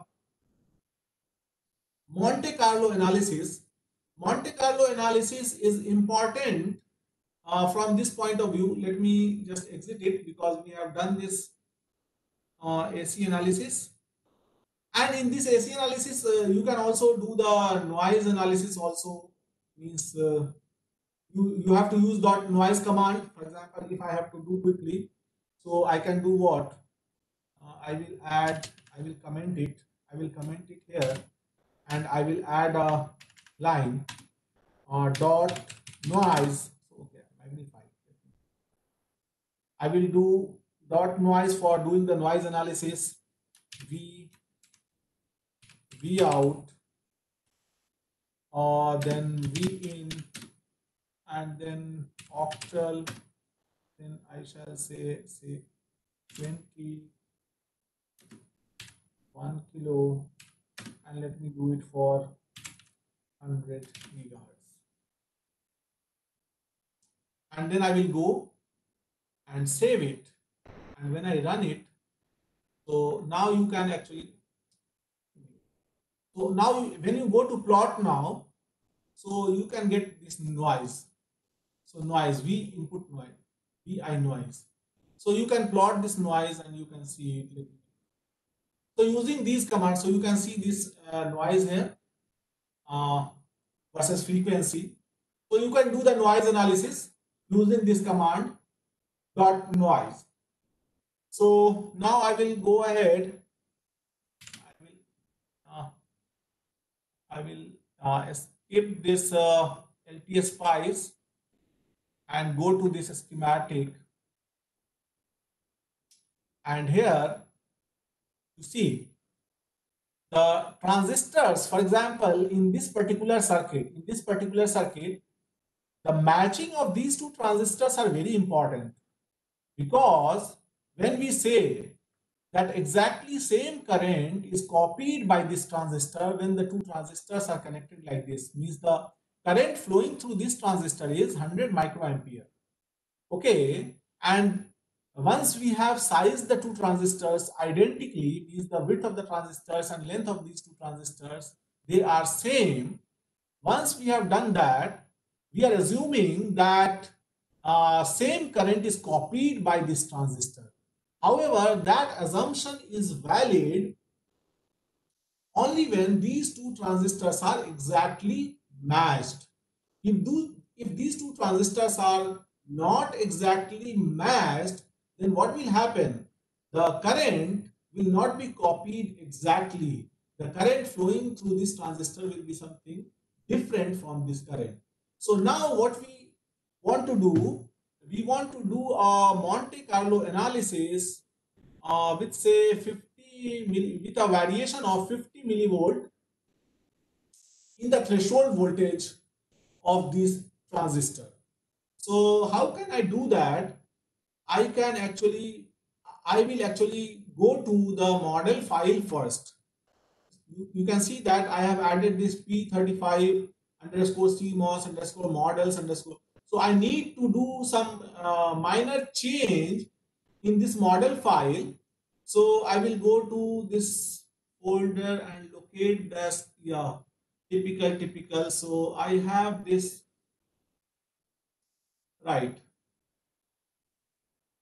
So this uh, typical, actually the detailed model file is separately stored. That detailed model file is stored with this name and the model file that we have included in our netlist actually calls that model file. Now in this model file, the VT shift is zero. Now what we can do, I can actually parameterize it and I can write it as del VTO and save it. Now I have done. So this I have done. I had to do this much change only, del VTO. Then I will go back to this. And here I will do what? I will define a dot param del VTO is equal to Gauss and then 0.05. So what actually it will do, it will uh, generate a random value of del VTO in the range of plus minus 50 millivolt and it will have a Gaussian distribution. Okay, so it will have a Gaussian distribution and it will generate a random value of del VTO. Okay, and this del VTO actually gets uh, added to the threshold voltage of these transistors. So effectively, you will get the variations in the threshold voltage of these transistors. And with for this Monte Carlo analysis, uh, let us do what? Uh, uh, let us do a transfer function actually so that we can get the uh, variation in gain so I will do a dot step, dot step, and n, n is the parameter, number of times uh, that I want to do this analysis, and one, two, suppose I want to do thousand samples in the step of one. So actually thousand samples uh, for Monte Carlo simulation is still not a very uh, big number of sample. Actually, if you are uh, writing a research paper, you will have to do it for 5,000 or 10,000 samples. But uh, for that will actually take time. Doing Monte Carlo simulation. Monte Carlo simulation is time consuming. So that is why I have limited this uh, number of samples to 1000 only. Right. So I have this 1000 samples and I am varying the threshold voltage of transistor. And here actually I am not specifically varying on these two transistors. Rather the threshold voltage of all the transistors will be varied. But you can do a specifically a specific variation to these two transistors also. For that actually I will have to go to uh, the detailed model file and there I will have to make changes. But you know that how those changes are made. So that's it. And now I can go ahead and do the simulation. So let me go to tools and simulate write spice deck. So syntax error in dot step command. Okay, let me go and see what syntax error uh, I did some syntax error in dot step command. Okay, yes, I did some error. Here actually I shall write param in dot step command, save it, and then go to simulate write a spice deck. Now you can see that simulation has not yet completed. It is going on. You can see, you can see here, you, you can see here, the simulation is going on. And so this much time, now the simulation is complete. So this much time was taken uh, for doing the Monte Carlo simulation with 1000 samples.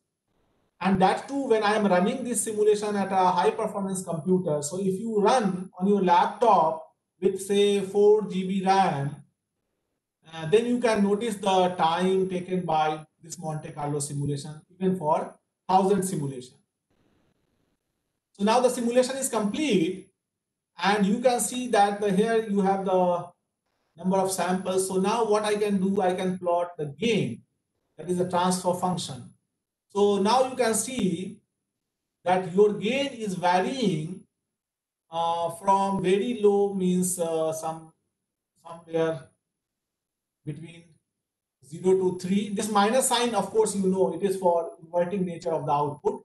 But you can see that your gain is varying from 0 to, means minimum gain is located somewhere here between 0 to 3 and the maximum gain is located uh, near 30 and on the x-axis you have the number of samples that is 1000 samples right? So this is the gain versus sample. Now if you want to plot a histogram for this so you can actually plot a histogram for this sample by exporting the data and using some data analysis software you can use matlab you can use uh, Excel also. So, but first of all, uh, let us export this data first. So I will export this data. I will uh, go to file and on this file, I will go to export data as text. So uh, then, okay.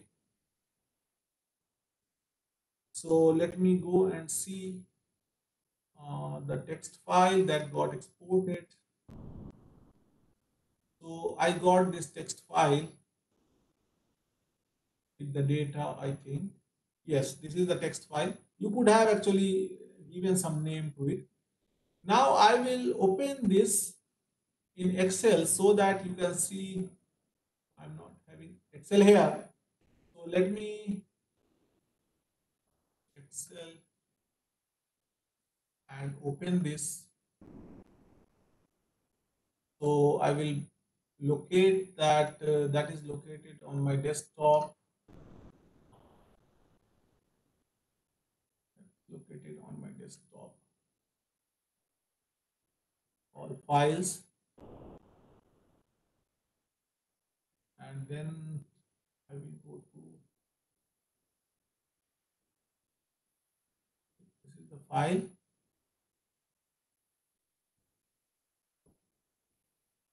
This is the file. Right. So now you can see that we have got this number and this transfer function. That transfer function is nothing but the gain. And let me see if I have that. Uh, okay, that data analysis uh, app is not there attached. So I find it difficult to uh, do it in Excel because that analysis tool. Okay, let me quickly let me quickly add that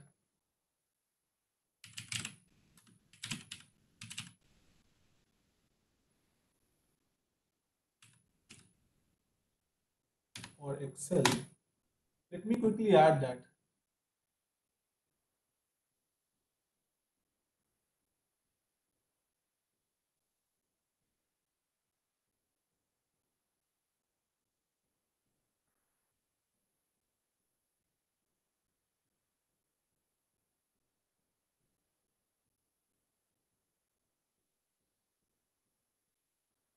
Yes.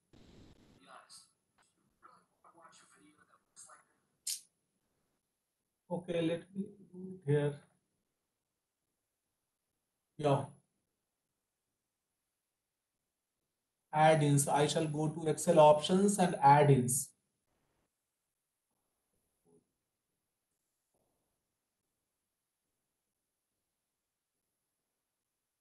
Add-in select analysis toolpack and click on on the file tab options. So you can actually get that tool from options. And from that option you can get that uh, add-ins. So you go to add-ins. And from this add-in you can do analysis tool pack so analysis tool pack and then what I need to do so I need to uh, yes I need to, to go analysis tool pack and then I need to click yeah so now you can see that I have got this data analysis tool pack added uh, then I shall yeah, I shall be able to invoke now yeah. So is that clear how I got this data analysis tool pack here? So I got this data analysis tool pack added to Excel. Now when I go to this tool pack, so I can go and, okay, let me magnify it. So you can see that uh, I have a histogram option here.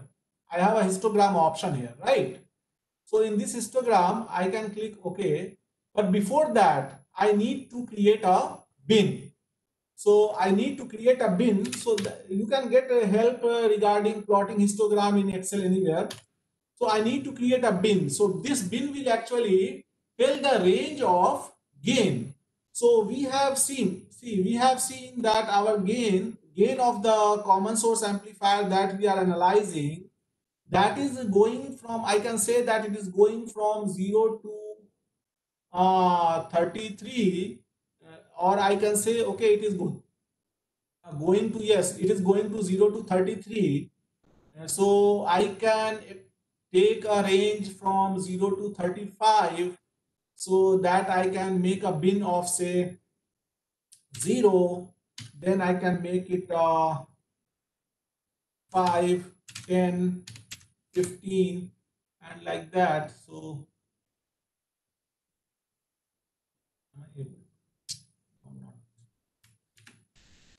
15, 20, 25, 30, and 35. So this is the bin range.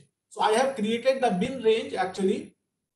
Okay, and I should have actually written with minus sign because uh, I am getting this transfer function that I am getting here is uh, with minus sign.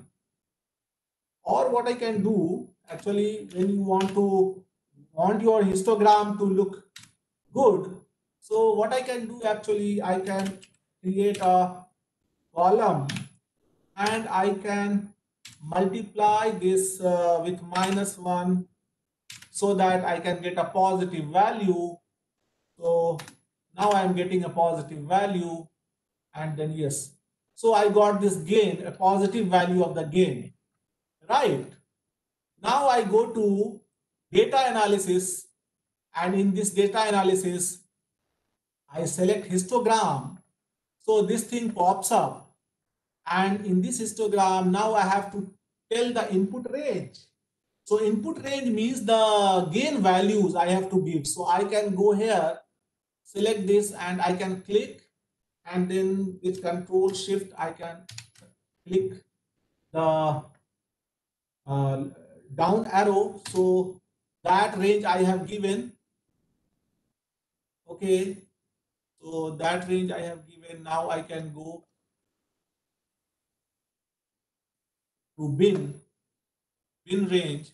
Now I can go and select this and this is the bin range. So that also I have given. So this way I have given the range. Now what I can do, I can click OK. So I have got, now you can see from this data analysis, I have got the bin. Bin bin tells you what the gain means 0 to 35 your gain is varying. And what is the sample number of samples having that particular gain?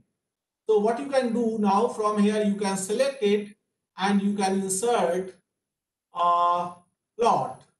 So you can insert a plot and you got this histogram plotted so now this histogram is actually having two peaks two peaks because of the variation in the threshold voltage that we have varied but on this plot, you can see that uh, you have gain on the number of samples on the x-axis.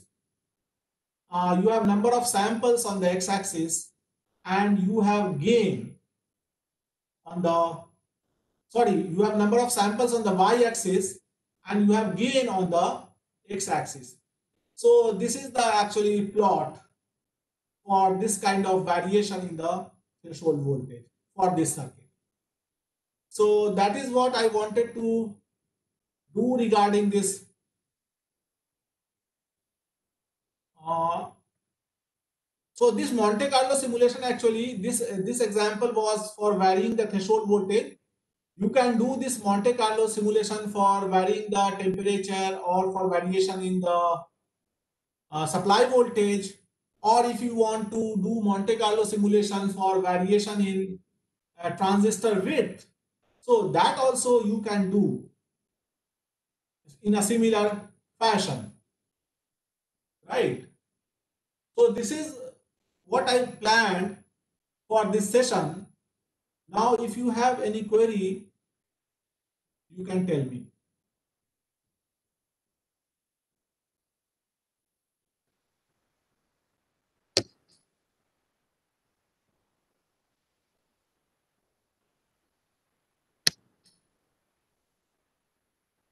Discussion, please. Any issues?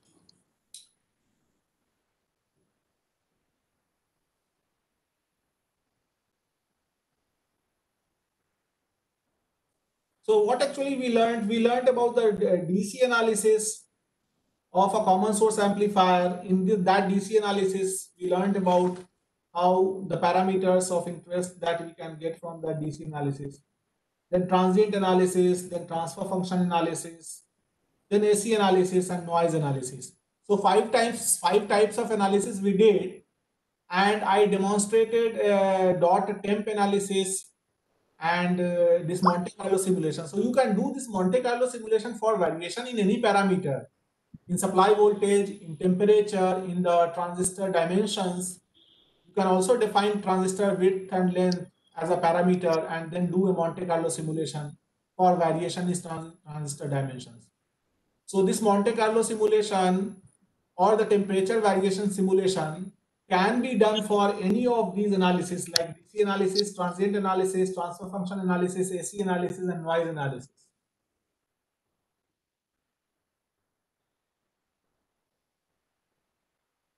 Sir, how can we see the region of operation? Pardon? Region of operation. Device op. Okay, that you can do from uh, uh, from transfer function analysis. For example, let me comment this, comment this, and let me run it again. So that's it. Now I can actually go to, uh, let me view the, uh, not here, uh, dot operation. Yeah, I shall go to open file and that file shall show me common source amplifier. Not, this. Uh, let me, okay, okay, let me do this analysis. Okay, dot uh, analysis. Okay, let me comment it. Uh, let me do go to DC analysis and let me do again. I shall be able to uh, see the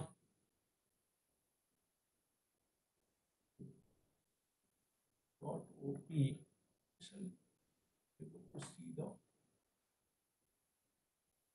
that file so So common source amplifier.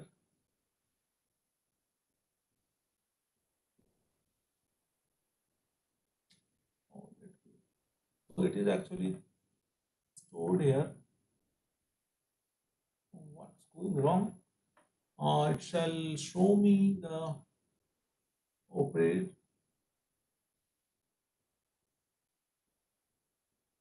shows the biasing of all the transistors, region of operation of all the transistors. Uh, what's going wrong? Let me do it for transient and let me see I can.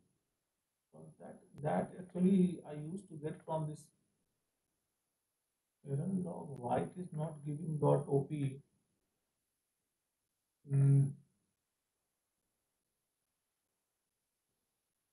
Oh, what's going wrong? Uh, it shall report me operating point analysis.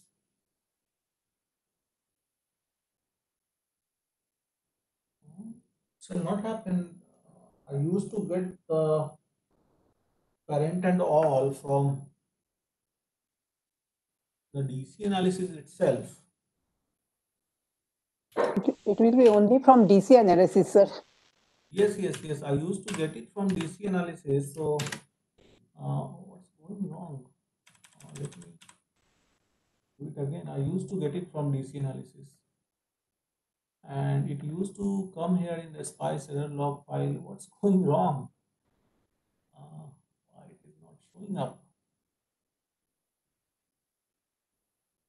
That dot op. Oh, Yesterday also I was doing it and I was able to see. Uh, dot.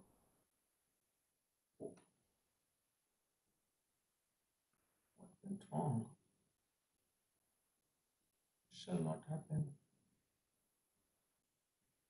Okay, let me start from here. But that shall not be a reason. Uh, I used to get this for DC analysis.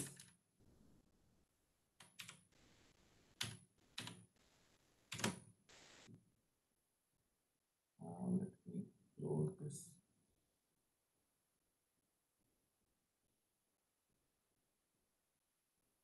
Tool, uh, spice simulation, right?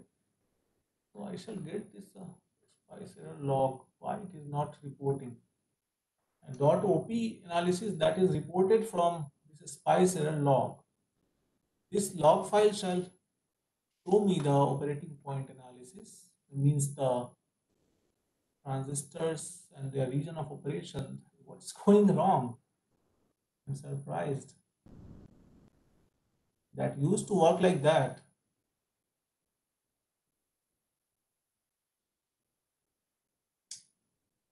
What could be going wrong? So like one uh, in cadence, it will clearly show that uh, this device is in triode region or linear Ah, region. I used Like to get same that. way we will same way we'll be finding, or we have to do it manually like uh, VDS and VGS minus op actually the operating point uh, uh, is reported for dot transfer function also dot transient also. Uh, but what is going wrong? I'm not getting it right now. No idea. These things must not be causing any error. Uh, view and we go to this spice error log and I used to get the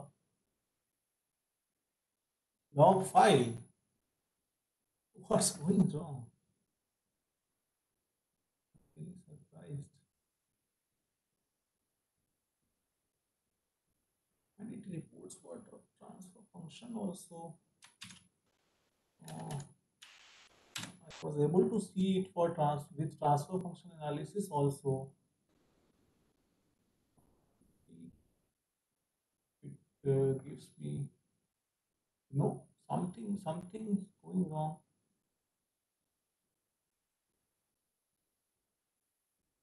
I'm really surprised what went wrong. Uh, can you figure out? With these commands only, I used to get the dot op operating point values means the parameters of the transistors like GM, GDS, and the current flowing through all those transistors. See some, I really have no idea. Okay, let me do one thing. Maybe the Only I wanted to know whether like clearly this tool will give that this device is in operate uh, in saturation region or linear region or we have to uh, see manually like the VDS, VGS, VT values and then decide. That's what my concern is actually. okay. Like in cadence, So in cadence it will this show right LT, the this LTspice actually. Okay, let me do one last last try for. Let me do. This LTspice uh, will actually not uh, tell you directly whether your transistor is in uh, saturation or not. Uh, what you need to uh, let me do. Delete these files.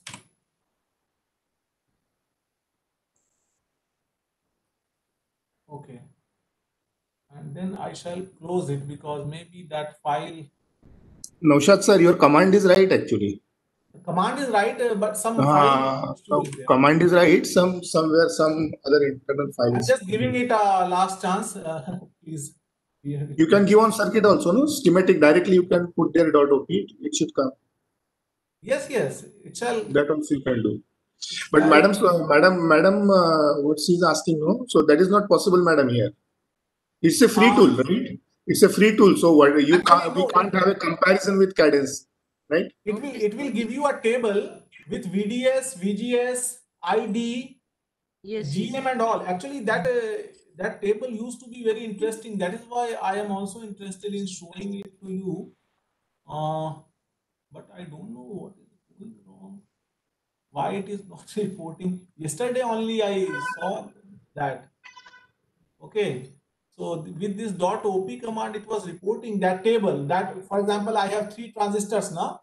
So that table will have three columns for uh, two PMOS transistor, one NMOS transistor, and it will show you uh, show you the uh, current flowing through these transistors and the VGS, Naushad sir, VGS of those transistors. Yes. uh, that error, no, it is related to uh, your model file. We see if you see, na, you run it and see.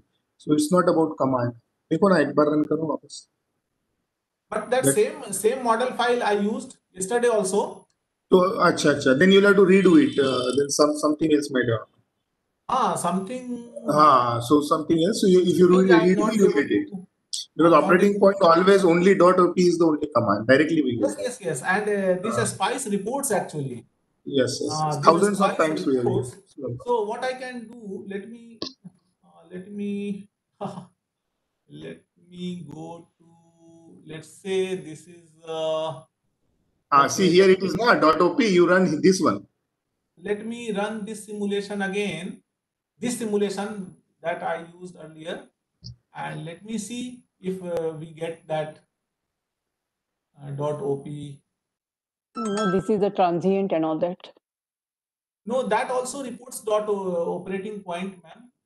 Uh, Uh, madam, uh, yeah, multiple, mul- yeah, madam, multiple simulations are possible in NetSpice. Means at a time you can have DC, AC, operating You can- point. Okay, okay. Yeah, okay. yeah, that is So- that is possible. Uh, Now it let is me is giving. So you will you Yeah. will get a table like this. Yes. You will get a table like this. So you have three transistors, one NMOS and PMOS, two PMOS. So you can see that you are getting a current. So that circuit actually I simulated for 100 micro. So you can see that 100 microampere, 998, mi- uh, 998 microampere. Right. Then you have VGS for all the three transistors. Then you have VDS of all the three transistors. VBS of all the transistors are grounded because I have connected body with the source. Then you also have the threshold voltage of the transistors. Then VD sat is also given. So by seeing that, and then you have this uh, GM of the transistors, GDS. So all those parameters, these are the operating parameters reported by LTspice. I think perhaps thank you have to deduct it from VDS, VGS, and VT. Yes, yes, Ye- yes. Yes, yes. Thank you, so thank you very much. So we can also see from here, for example, if we see that VD sat for this PMOS is uh, 0.346 and VDS that we are having is 1.1.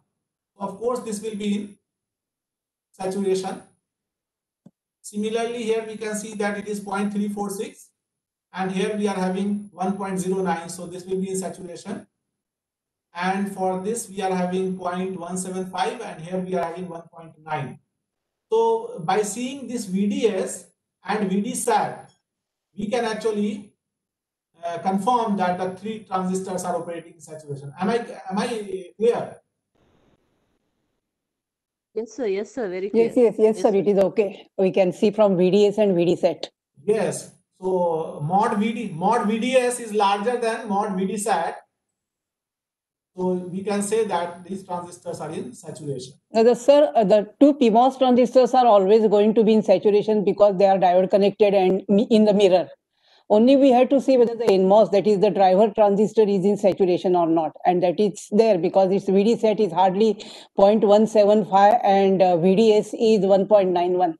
Yes, So, yes, ma'am. Uh, only NMOS we have to see. I think though both the PMOS by the architecture are going to be in saturation only. Yes. Yeah, what we have to see is Diode in, connected, diode connected transistor is always in saturation. Yeah, yeah. And the other current mirror also, I think with the same VGS and all that is going to be in saturation because they are exactly same. W Yes, by L. VGS, VDS. Only what we have to see is whether NMOS is, that the driver transistor is in saturation or not. And that is there because VD sat is hardly 0.12, 1, uh, 0.175 and VDS is 1.91 volts. So much, Yes, much higher. yes. It is deep in saturation. Yes, you are right, ma'am. Mm. Sir, I have one doubt, sir. Pardon? Uh, sir, I have one doubt. Yes, please. Uh, sir, you are uh, showing there uh, G, uh, something uh, with the GDS, right? Uh, there is above above uh, row. If you go, there is a VDS. One more. GDS. Uh, the now what you have highlighted uh, that uh, that I read as a GDS. Uh, am I correct? Am I reading it correctly? Yes, yes, you are correct. It is GDS, 1 upon uh, RO. Uh, but, but if you go just above that uh, row, row number three, It is VDS. This uh, is row number three. Ah, so, uh, but uh, I mean, uh, for uh, device to be saturation, which one uh, should be seen? Like a VDS, whether we have to consider this GDS? No, no, no. GDS is actually 1 upon RO. For device to be saturation, this VDS must be greater than VDSAT. Uh, oh, yes, yes.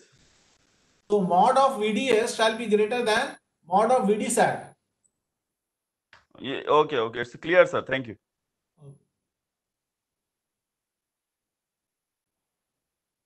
Any other query?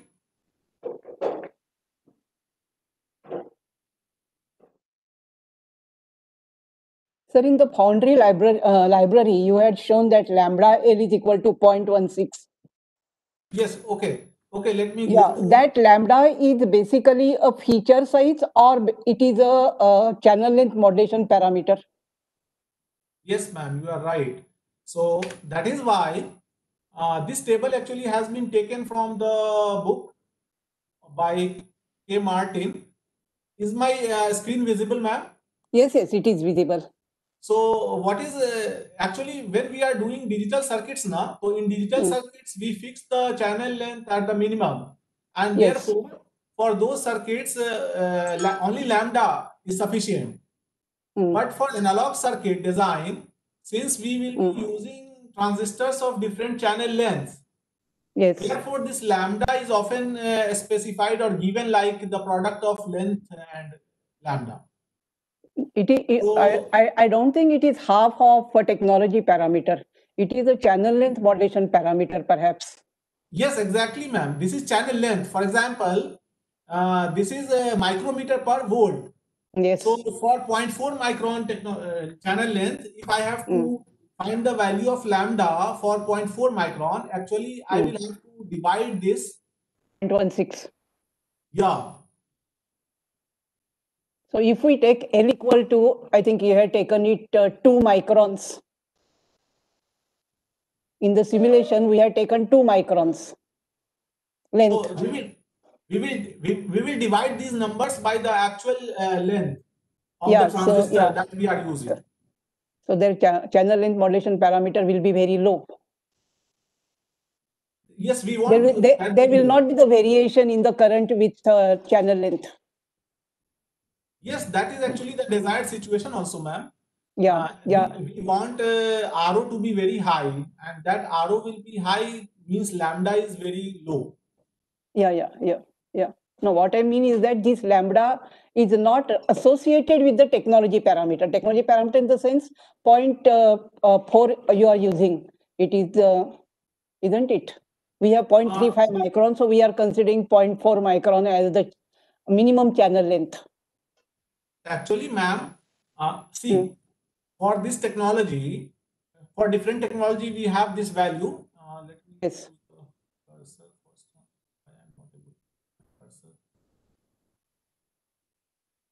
For different technology, uh, this lambda is given like uh, the lambda into L, right? Now we can get the value of lambda Hmm. from the length of the transistor that we are using. For example, we are using 0.4 micron Yeah, yeah, I got it, sir. I, length. I, I mean, So my the was- lambda, uh, lambda will be 0.4 in mm, our circuit. mm. 0.16 divided by 0.4, that will be 0.4. But if So L is 2 circuits- microns, if L is 2 microns, lambda will go down because lambda into L. Yes, yes, is yes, yes, it will go down. Yes. It will go down. Yes, ma'am. Yes, yes. And I can actually show show the effect. Let us. Mm, I can actually show show that. That is very interesting. Actually, I forgot to do that. Uh, when we, what we actually we can do. If you are interested, uh, if No, no, interested, you- I can show. I mean, I, Ah. I, I know that. Only you said it is a scale 200, something like that. For 400 nanometers, it is uh, 200 is the scale. So I wanted to say that this lambda is a channel length modulation parameter and it does depend. It is inversely proportional to the length. Lambda Exactly. is inversely proportional to the length. So this lambda into Exactly. L gives some guideline for hand calculation to determine lambda determ- depending upon what length you are using. Yes, this lambda, this lambda L is actually extracted for a technology. Mm, So unit Yes. of lambda is per volt. Here we are having lambda L that is micrometer per volt. correct. Now it has been extracted for different technology like 0.8, 0.35, 0.18. Now whatever technology we are using and depending on the channel length, Mm, the exact value of lambda for that particular transistor will be this lambda L divided by the length of the transistor. correct. Yes, yes, got it. So that is it. ma'am. Thank you, sir. Thank you. Pleasure, ma'am. Any other query?